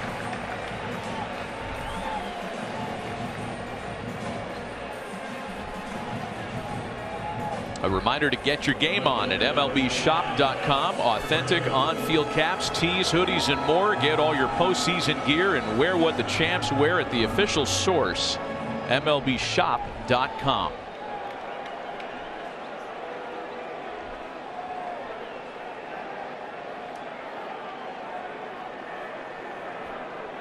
One out, one on for Alex Verdugo. Man, there's a part of the game here where Alex Cora likes to do a little bit of the unpredictable. Maybe put a little hit and run on. Give the green light to Bogaerts, maybe steal a bag here. But if you're Alex Cora, you're thinking, how do I get this game to four to one, five to one? Keep adding on. There is no safe lead, especially in a ballpark like Fenway. Alex, that ball four to Bogaerts, I, I is that not an example, perhaps, of how the catcher catches the ball? The difference between uh, the pitch being called a strike and a ball? absolutely, and it was a strike, but he missed his location, and a lot of times, you know, the the, the umpire would not give you that pitch, even though it was a strike.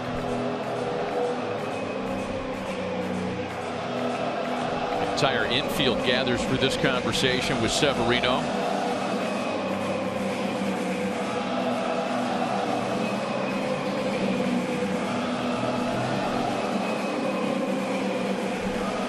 Boston is just one for six with runners on base tonight. And that one was a big one. The two run Bogaerts homer in the first. Bogaerts at first with one away here for Verdugo who has popped out and grounded into a double play.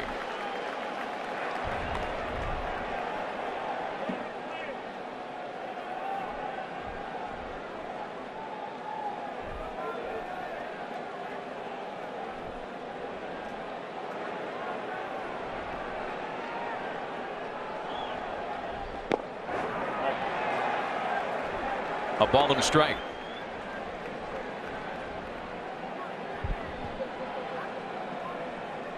Six strikes, eight balls for Luis Severino in the inning. First sign of his faltering, and Aaron Boone has Loaisiga ready to go.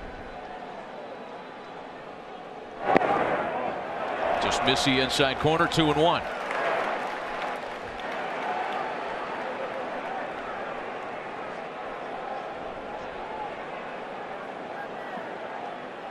After returning on September 21st, Severino had walked just one hitter in his brief six innings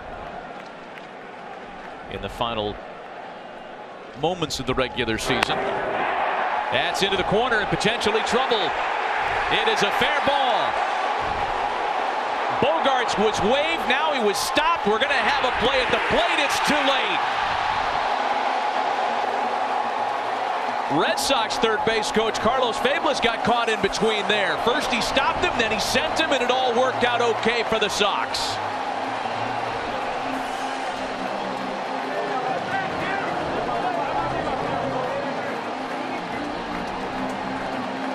Boston gets its three-run lead back. Here comes Aaron Boone. He's going to make a pitching change.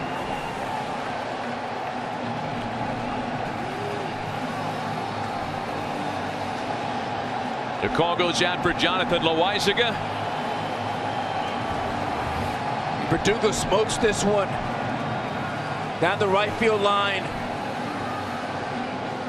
Red Sox playing a feisty style of baseball. Catches a break here by not going into the stands. And you'll see Carlos Febles here gets a little stuck. The difference is right field versus the short porch and left. Pitching change. We'll be right back.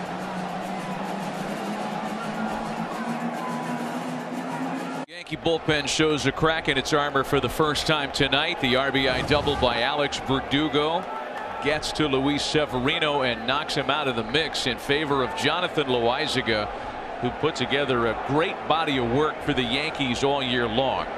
He'll try to strand Verdugo at second with a run in and only one away.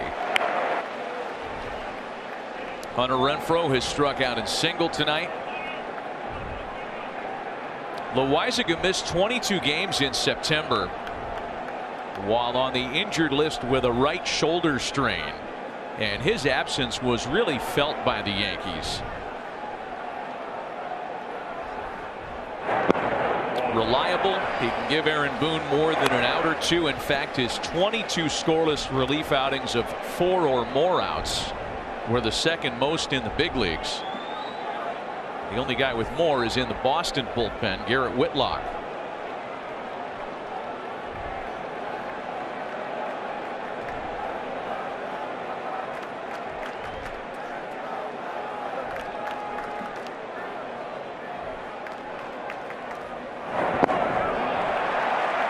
Falling behind here, however, 3 0. The only bullpen in baseball that had a lower percentage of inherited runners scoring was that of the LA Dodgers.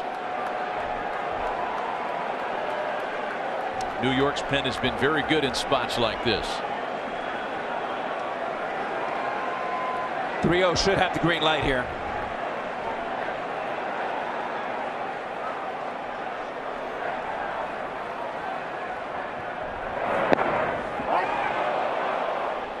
Good pitch with a 98 miles an hour fastball.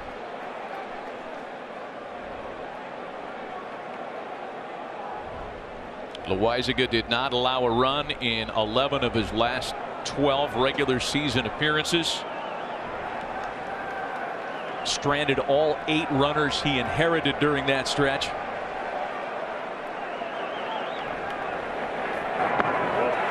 There's ball four.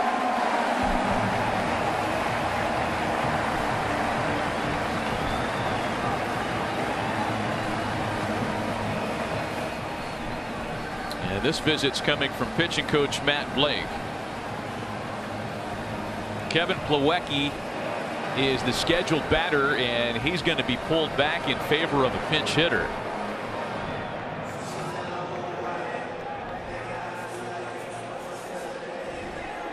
It's the man known as the mayor of Ding Dong City.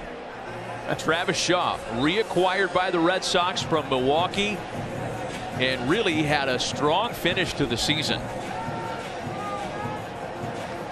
Guy who began his career here in Boston went on to have big moments with the Brewers. A series of injuries had limited his productivity the last two seasons but has really come alive down the stretch and you had a feeling Travis Shaw was going to play some kind of a role tonight.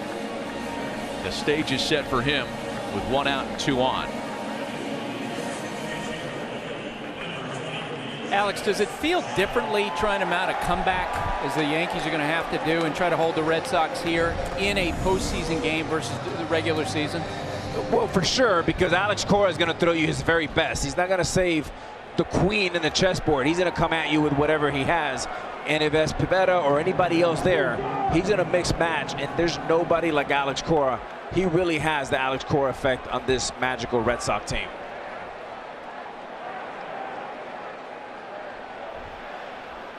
So here's the left-handed hitting pinch hitter with runners at first and second. And Shaw takes a strike. Most of Shaw's postseason experience came with the Brewers. Only two of his 41 career playoff plate appearances have come with the Red Sox. Boy, such a big difference in this game so far has been the base on balls. The Red Sox haven't walked any. Four walks by Yankee pitching tonight. Two of them have scored.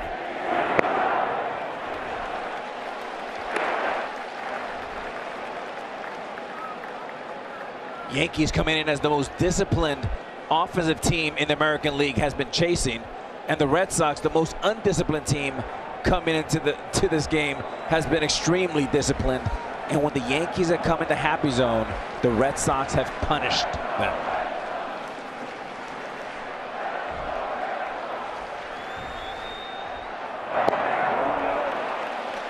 What a luxury for Alex Cora to have a guy like Shaw off the bench. He talked to us about the game tonight. Part of the reason I'm not going with him is for exactly a situation like this. And here it is. It's played perfectly out for Alex Cora and the Red Sox.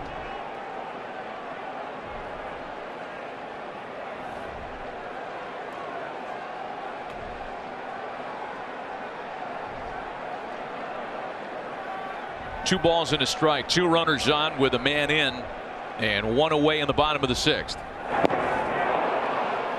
Two and two. Another big out to fade on deck. The home run threat of Bobby Dalbec waiting next.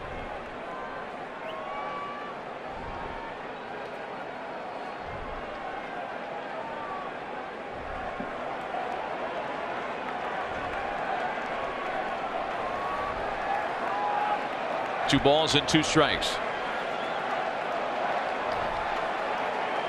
Loaisiga in this inning for Severino, who allowed the run. Got him.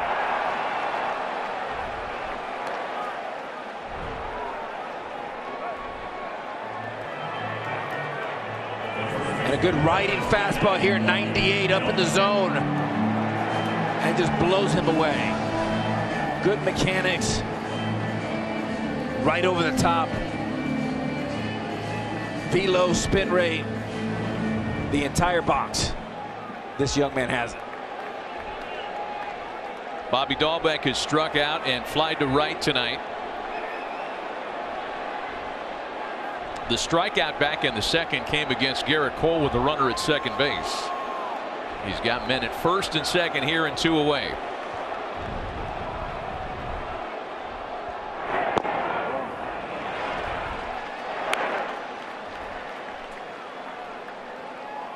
When the Yankees hit in the seventh, they'll have Torres, Gardner, and Urshela.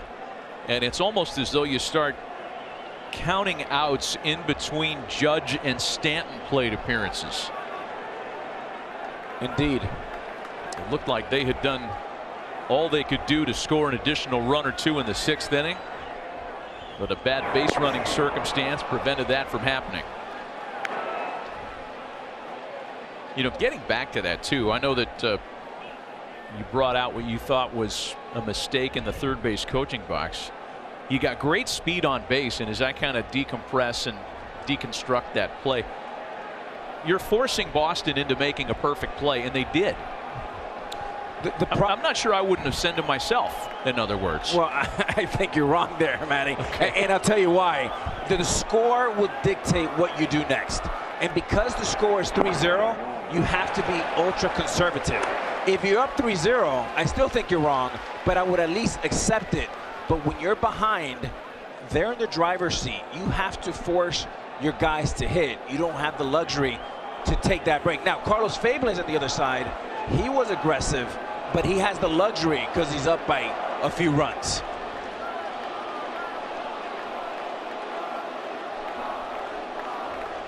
Two balls and a strike to count to Dalbec.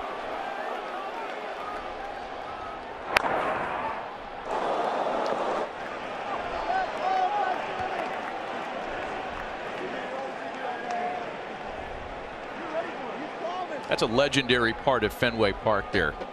Every time I see a foul ball into that corner, I think of the dude about 10 years ago that threw a slice of pizza. That's what you think You, about. you ever seen that highlight? Yeah, I have. Every time I look at that corner, I hear a lot of bad words in my. Well, we have different memories, I guess. you and I have had different experiences here. I'm just a Yahoo that watches the game, and you were in the middle of all this. I still love Boston. What a great city. There's nothing more fun as a Yankee to come here to compete in front of this great fans in the stadium. And the same when Boston goes to New York. It is the greatest thing that this game has going is this rivalry. Did you and Jason Varitek settle your differences today finally?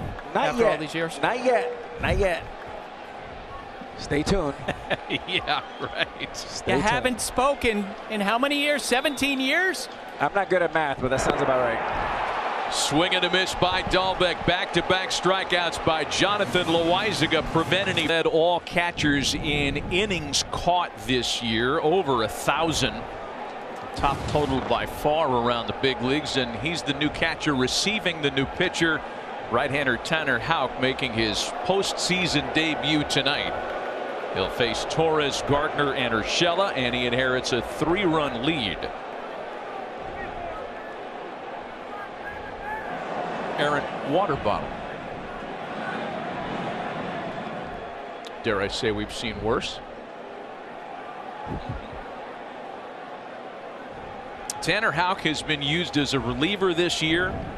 He had a number of starts earlier this season. Better results out of the bullpen. He's coming off of five perfect innings on Saturday. And he starts Gleyber Torres with a strike. Wanted to tell you guys a story before I started that interview with Bucky Dent. He looked at the scoreboard and said, "You know, that game that we came back and win to win, we were down 2-0 in that game. In the seventh inning, that's a Bucky Dent inning." Okay. Just putting that out there. Got it. We talked about how New York had some eighth inning magic in their three game sweep of the Red Sox here just over a week ago.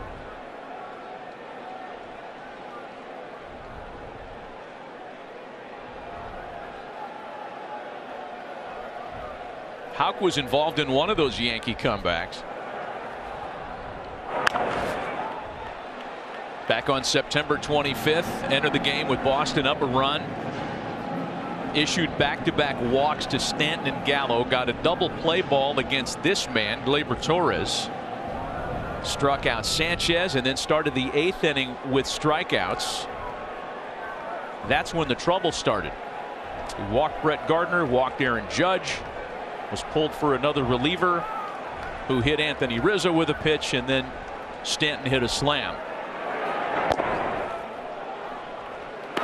Common denominator for Yankee offense when they do really well is usually set up by walks. And that was the case in that situation as well. Tonight, no walks for this Red Sox pitching, and that's been the difference. Boston has Hansel Robles up in the bullpen behind him. 2 2. Torres serves a fly ball out to center that carries nicely to Kike Hernandez. T-Mobile covers the most interstate highway miles with 5G. Homer away, stay connected to your team with T-Mobile, the leader in 5G coverage.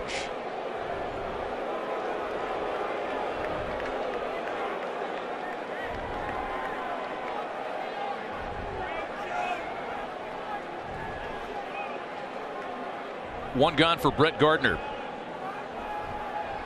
Well, Yankee leadoff hitters in this game are now 0 for 7.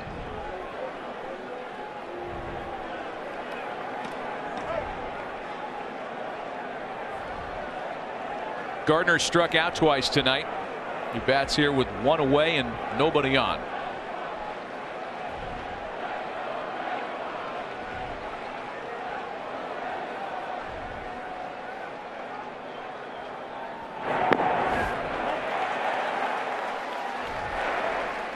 We saw that shot of DJ LeMahieu a moment ago and his absence due to the sports hernia it it reminds you the bottom of the Yankee lineup hasn't been very productive tonight. Six through nine hitters you're one for eight with five strikeouts. LeMahieu hits at the top of the lineup, but everything gets shorter when one of your biggest offensive weapons isn't available. And his absence makes a big difference. And that's underscored more in a big game like this, where the whole strategy is after one game, not a weekend, not a week, or not a season. If you have a hole, that hole is going to be exposed, and it has so far for the Yankee offense tonight.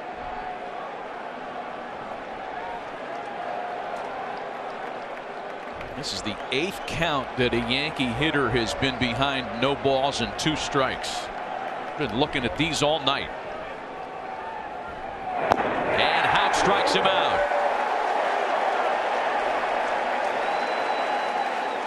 And a great combo here. First the slider, and then the gas. Some cheddar, top of the zone.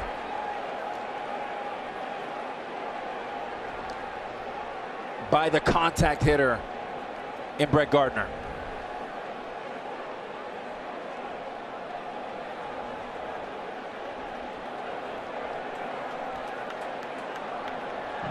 Two gone bases empty now for Urshela. Red Sox pitching looking for its fourth one two three inning of the game. Urshela has singled. That was an infield number and line to left.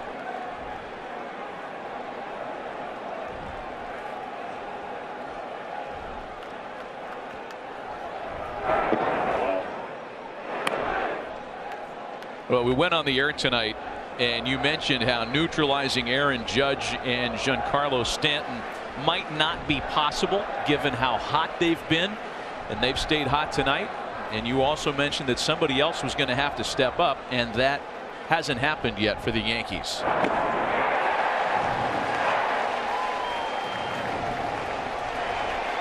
Ball and two strikes. 15 swing and misses for this Yankee offense tonight.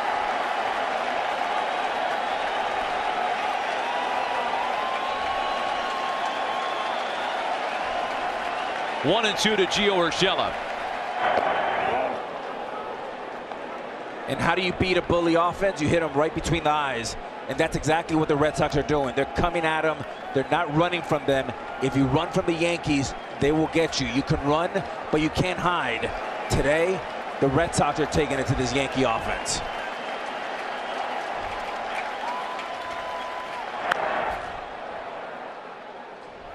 Back-to-back 95 mile an hour fastballs. That one fouled away.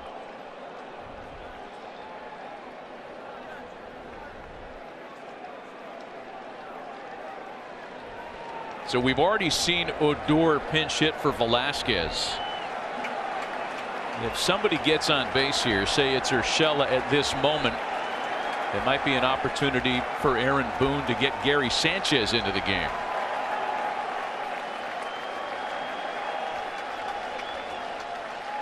The next 2-2. Alex Cora is an old school manager, and, he's already he always thinks two or three hitters ahead. He's got Taylor and Robles already up. You mentioned Gary Sanchez. He's got that. He's already thinking about that. Josh Taylor, the left-hander, has joined Hansel Robles in the Boston bullpen. And if you're Cora, you have seven outs to work with, and you're trying to think about how do I mismatch here for seven outs? Got him. Six. Another one, two, three inning executed by Boston pitching. Stretch Thursday, game one of the ALDS between the White Sox and Astros starts at 4 p.m. Eastern on FS1. And FS1 also has game one of the other ALDS. The winner from this one will take on the 100 win Tampa Bay Rays. And you better pack your lunch for Tampa Bay because they're ready and they are good. Nothing I, but 110 mile an hour velocity guys out of the bullpen as a start. Christian Arroyo leads things off in the Boston half of the seventh. Arroyo, Schwarber, and Hernandez. We had to turn in our picks for the World Series for ESPN.com. I got the Rays. winning the whole thing. Against who? Who did jab out of the National League? Milwaukee Brewers. Rays is the only team that loses three starters and gets better. With, with the fourth lowest payroll in baseball. I mean, really, really impressive what they do year in and year out. Rolled out to the left side for Rougned Odor, one away. Well, for a lot of people that follow this game every day like us, the Rays are about as close to a perfect team as you might find in the American League. 100 wins, best record in franchise history. They're great at scoring runs. They're better at run prevention. And they've got a bunch of guys that can beat you from different sides of the plate. Lowe and Meadows, left-handed batters. They've got Wander Franco, who might be the rookie of the year if Randy Arozarena isn't. Reached base safely in 43 straight games. One of the longest in recent baseball history. Matt, you talk about a diverse roster. I mean, you talk about Wander Franco there, 20 years old, and they have a veteran in Nelson Cruz, over 40 years old. And Franco, for a young hitter, struck out like three or four times over the last three weeks. It's remarkable in this day and age to have a young player like that that can make contact and hit with power and get on base that often. Wow. Uh, it's remarkable at how that team has has won given the payroll constraints. I mean, you're talking about a price tag that's uh, what about less than a third of what it is for the two teams on the field tonight. It is, and what makes them great is they know how to do it the Tampa Rays way. The Yankees can't try to be the Rays. The Red Sox can't try to be the Rays. The Yankees have to be the big bad Yankees that they are, and the Red Sox as well. I see a lot of big market teams trying to make mistakes to be the Rays. You're not going to be the Rays. You're not that smart. You're not that good. Keep to your superpower, which is tremendous resources, and bring in the players that you bring in.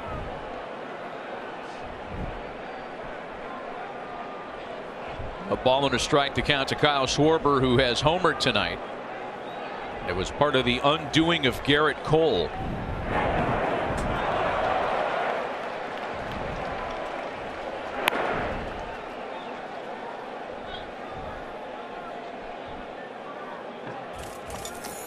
And a game of adjustments. Schwarber just misses him in the first. And then not the second time, a one-two fastball. 97, 435 feet for the world champion Schwarber. Alex Cora would like nothing but to add on to this lead as comfortable as it may seem. A three run lead and the Yankees are down to their final six outs of the season. Alex is very aware that he's lost the last three that he's played against the Yankees when leading after seven. yeah, I was going to say, trust me, Alex Cora is not comfortable right now. He's very capable, knows what this team is capable he's playing against. And to your point, the short memory of what happened here less than 10 days ago, this game's not over till it's over. And there's ball four to Schwarber. That's the second walk by Loaisiga tonight. And stick around, folks. A three-run lead in this stadium right here is like a one-run lead in 29 other parks. Six outs, still a tall mountain to climb. For the weakest part of the Red Sox team, which is that bullpen. One out, one on for Kike Hernandez, who singled back in the third. He had a multi-hit game in five of his last eight in the regular season.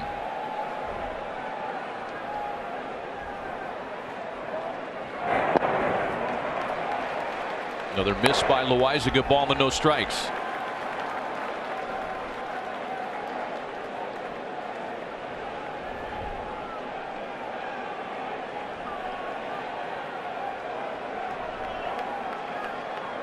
Three of the four runs that have come in for Boston tonight have cashed on the homer.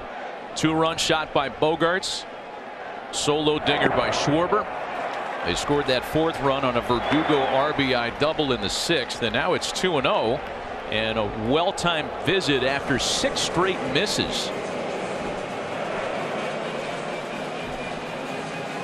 You see a guy like Anthony Rizzo go to the mound and talk to the young pitcher who's going to be a future closer here in this organization with the Yankees.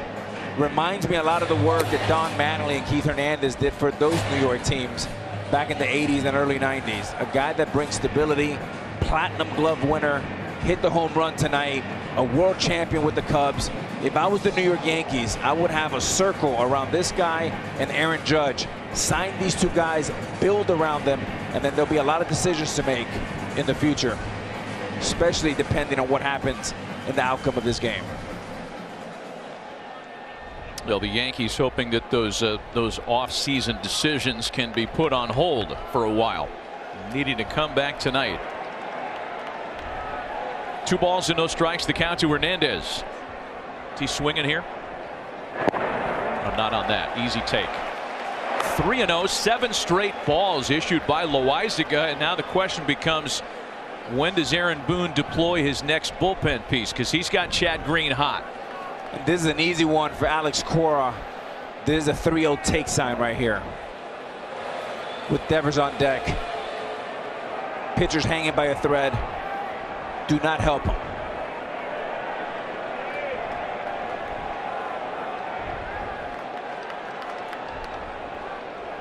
Three balls and no strikes. Wow. Eight straight misses, and that's back-to-back -back innings in which the Yankees have walked two batters. And when you see that, this is a residual of Gerrit Cole's start tonight. 28 pitches for this young man. 27, he's fatigued, he's tired, but that's why you need your $324 million pitcher to get you to the seventh inning, a la Andy Pettitte and others. Fourth reliever of the game on his way in for the Yankees. We'll be right back.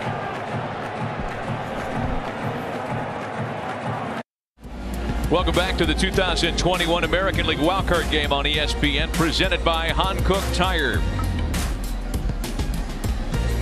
Xander Bogaerts set the tone with a two-run homer in the first against Gerrit Cole. The Yankee ace was knocked out of the game early in the third. Boston has never trailed. They enjoy a three-run lead here in the seventh and looking for more. Well, the next to work out of the Yankee bullpen is veteran right-hander Chad Green a career high 67 appearances this year, accompanied by a career high 10 winning decisions. Green ended the regular season unscored upon in his final seven appearances of the year. However, he did have a problem with homers this year.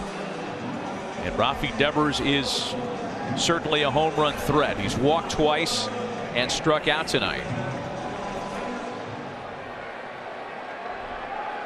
of the 14 homers that Chad Green allowed this year, and by the way, that was the fourth most among all relievers, half of them came with runners on base. A dangerous hitter in a dangerous situation. First pitch to Devers is fouled away.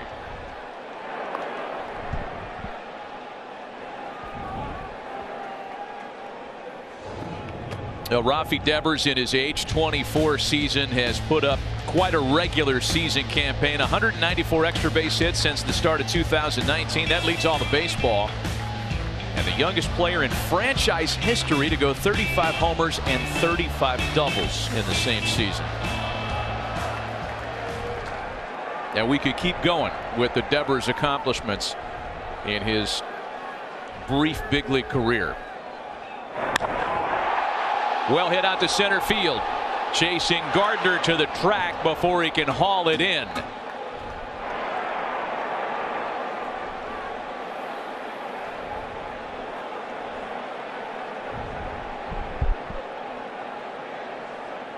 And Devers just missed a base clearing double. Good swing, 96 miles an hour.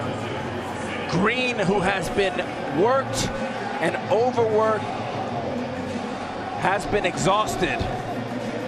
And again, that's a fastball up right there that when Green is right, just like Cole, those balls are not touched. And the game has changed a little bit since June. Those balls up there usually are swing and misses. We've seen tonight with Schwarber and Devers there, those balls are now hittable. In one case, a home run for Schwarber. Xander Bogaerts, a two-run homer, a strikeout, and a walk tonight. There are no secrets between the Red Sox and Yankees in terms of repertoire, arsenal, and among the uh, the familiar matchups is this one. Xander Bogaerts has seen Green 14 times, including the playoffs. He's only got two hits against him in that stretch.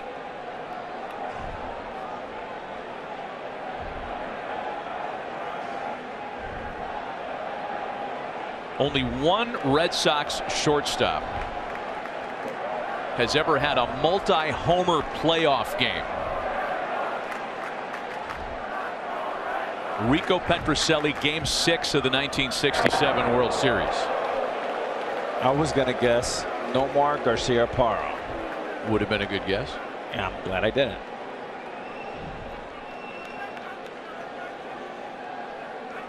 You know, that's, that's for the older fans. you talked about Devers and at third base. I mean, the Red Sox are well covered in the left side of their infield. Bogaerts one of the most underrated players in the entire game. A high quality character guy, beloved by players, revered in his clubhouse, and set the tone today with the big home run and the relay throw to get Judge at the plate. Alex, you played in games like this before. To for the Red Sox to jump out 2-0, bottom of the first inning. What was the impact of that in your eyes? Ginormous, especially at home. You, you know, you want to come out of the gates, get these fans involved. and Don't forget, the last memory of the Yankees coming here was not a good one. They dominated the Red Sox for three. To say, hey, we're back at home. It's October, not September, sets the tone. Ginormous hit for Bogaerts and the Red Sox.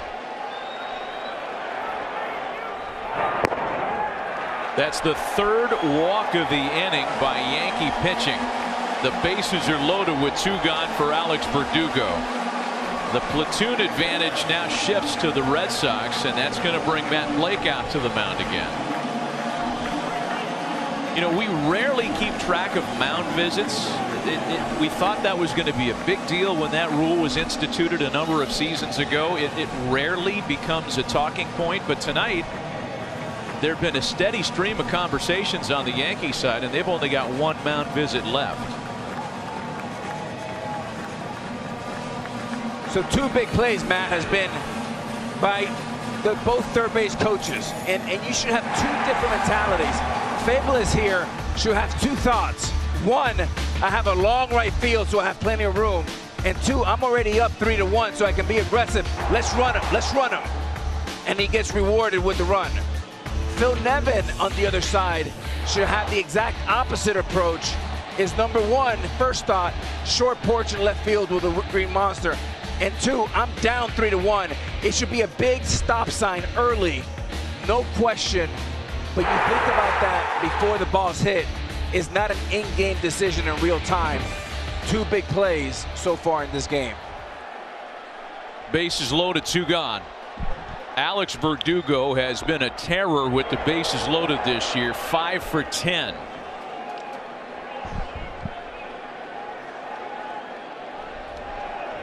He's got Schwarber, Hernandez, and Bogaerts aboard with two gone.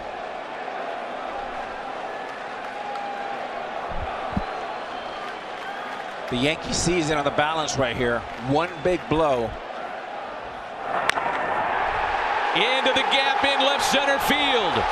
Schwarber scores easily. Kike right behind him. Throw into second where Verdugo is out, but not before the damage is done. Three walks in the inning. Two of them come around to score on the double by Alex Verdugo.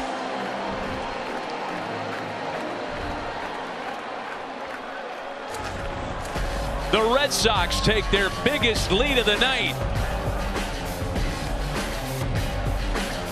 Six outs away from a date with the Rays in the division series.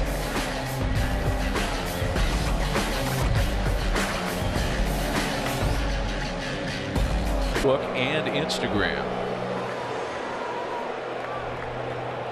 New pitcher for Boston as the veteran Hansel Robles takes over 72 appearances this year combined between the Twins and Sox. He has the luxury of pitching with Boston's biggest lead of the night on the scoreboard. And he'll face the bottom of the Yankee order, a pinch hitter leading things off. Quite sure Aaron Boone would have preferred using Gary Sanchez with runners on base, but he's just running out of time. So Sanchez will bat for Higashioka leading off the eighth. Odor and Rizzo to follow.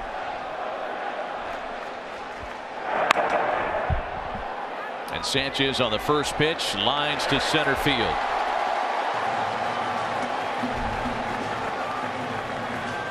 The Yankees have overcome a five run playoff deficit just three times in their franchise history. Most recently game one of the 2010 ALCS against the Rangers. And you were a big part of that comeback with a two run eighth inning single. But the point there is that that kind of night doesn't come around very often even for a team like the Yankees with all their postseason history.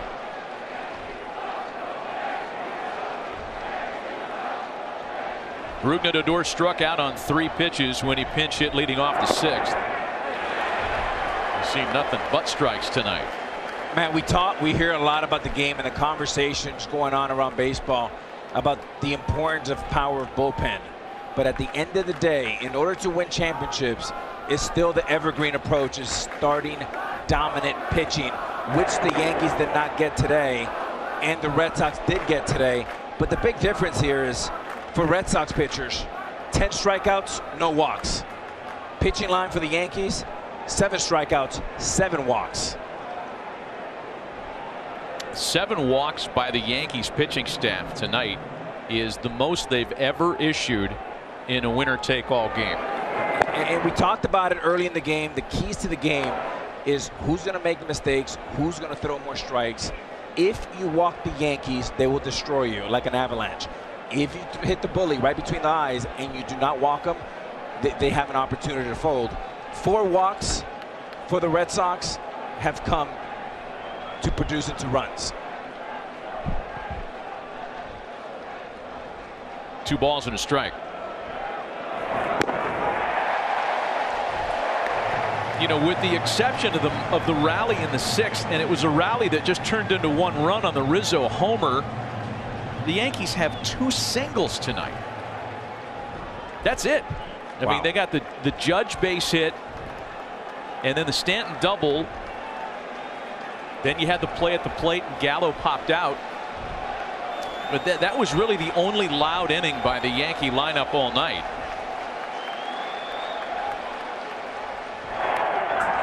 Still 2 and 2.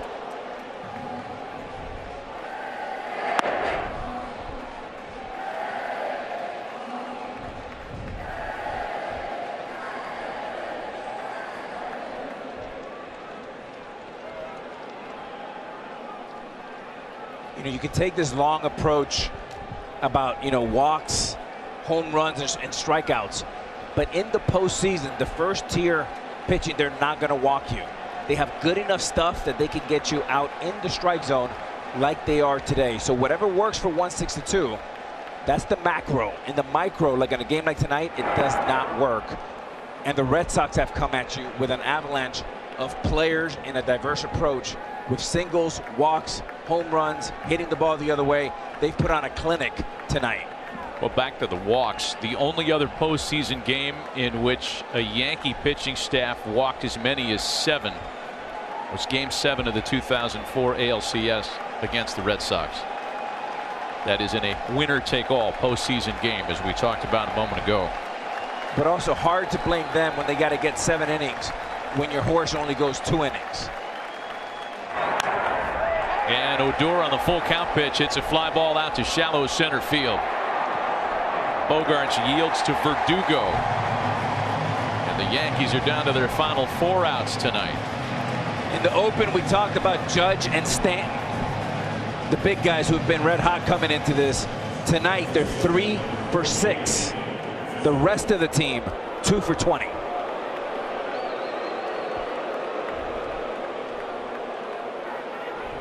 The lone Yankee run tonight, courtesy of the Anthony Rizzo solo shot that was wrapped just inside the pesky pole in right field.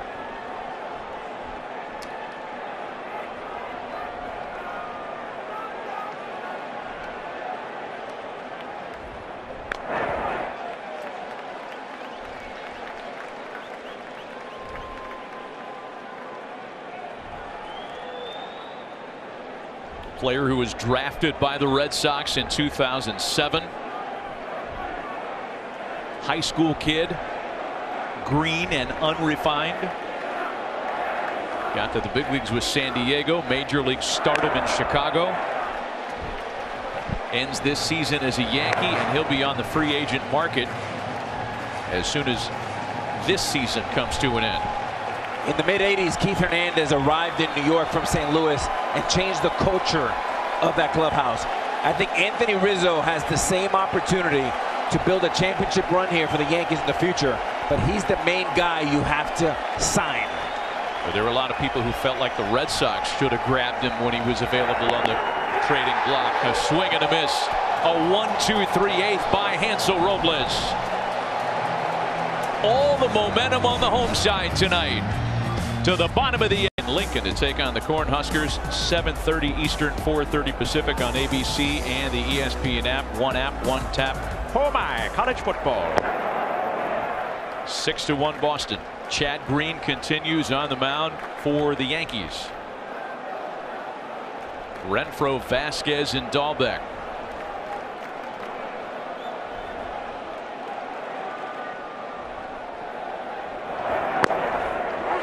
Boston has Garrett Whitlock up in the bullpen. He'll be looking for an opportunity to close this one down and would love a little more support.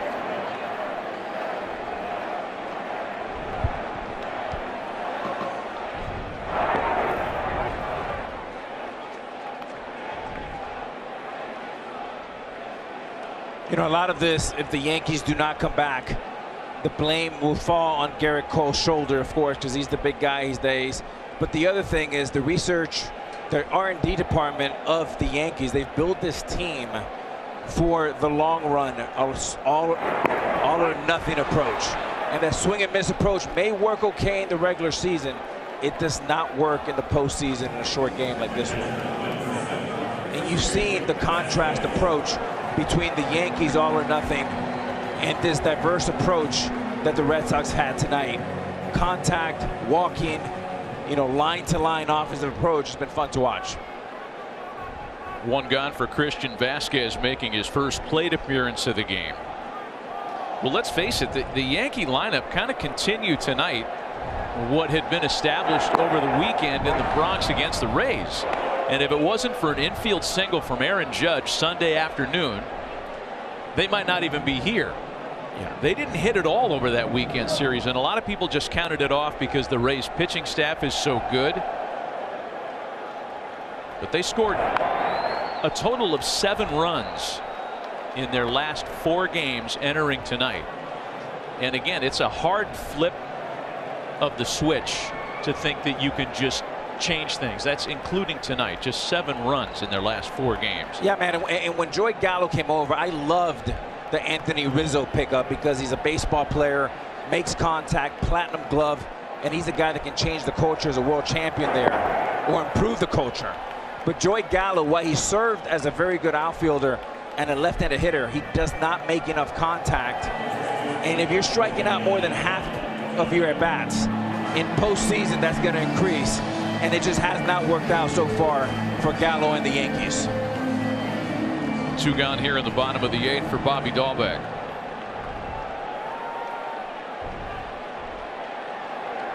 Well, not many preseason odds makers and pundits gave Boston much of a chance in the postseason this year. They didn't even give much of a chance in the regular season. Their win total was set at around 81. They were thought to be somewhere around a 500-ish team, maybe slightly better than last year's version. There was one guy who kept on saying we're better than what you guys people think you you people think and that was Alex Cora. From day one Buster he said that and you know talking to Iglesias before the game yesterday he is so impressed with the way that Alex Cora every day walks around that clubhouse. He owns that clubhouse. He invests time in getting to know all 26 players and then puts them in a position to win and be successful. Red Sox go away in order in the eighth. We head to the top of the ninth inning with Boston three outs away from a date in the division series. A really cruel, ironic twist because the guy who has a chance to close out their season is former Yankee property. 25 year old rookie Garrett Whitlock has been terrific this year. He was taken in the Rule 5 draft from the Yankees. You saw the sub 2 ERA. Missed all of 2019 recovering from Tommy John. Didn't pitch at all last year because there was no minor league season. And he has been terrific for Boston. Jam shot out to shortstop. One away in the ninth.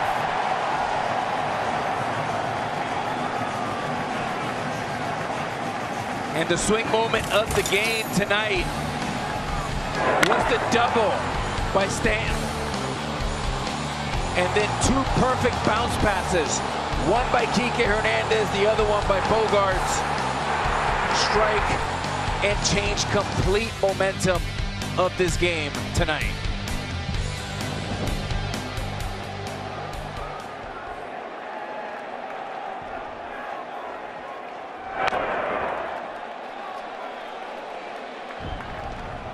Oh and 1 the count is Stanton.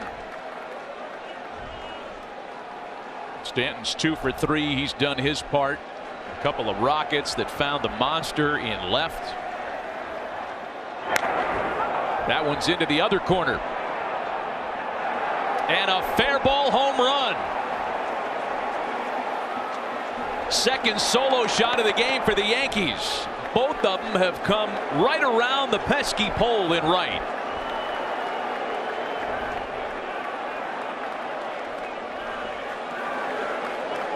You cannot say enough good things about Stanton and his play here the last month and all year.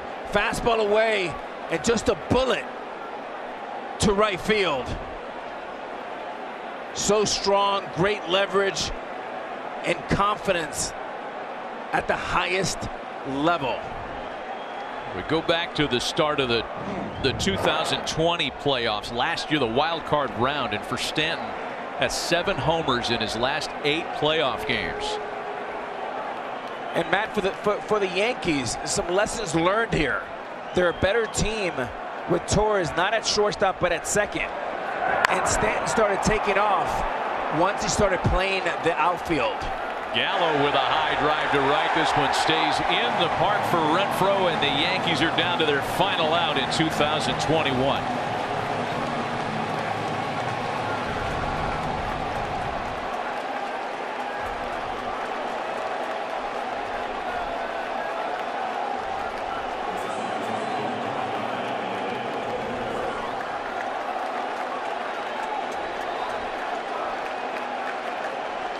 Gleyber Torres the batter.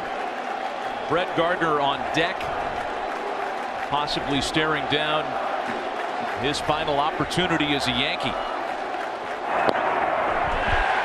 And Matt, I'm going to make a prediction here for next year. Gerrit Cole will be your American League Cy Young winner. And the sophomore season here in New York is so much easier than the first one.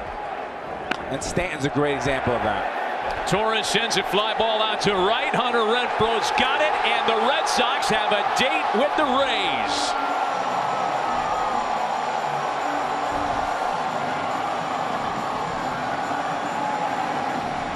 A Red Sox team that missed the expanded postseason altogether just a year ago, finishing 24 and 36.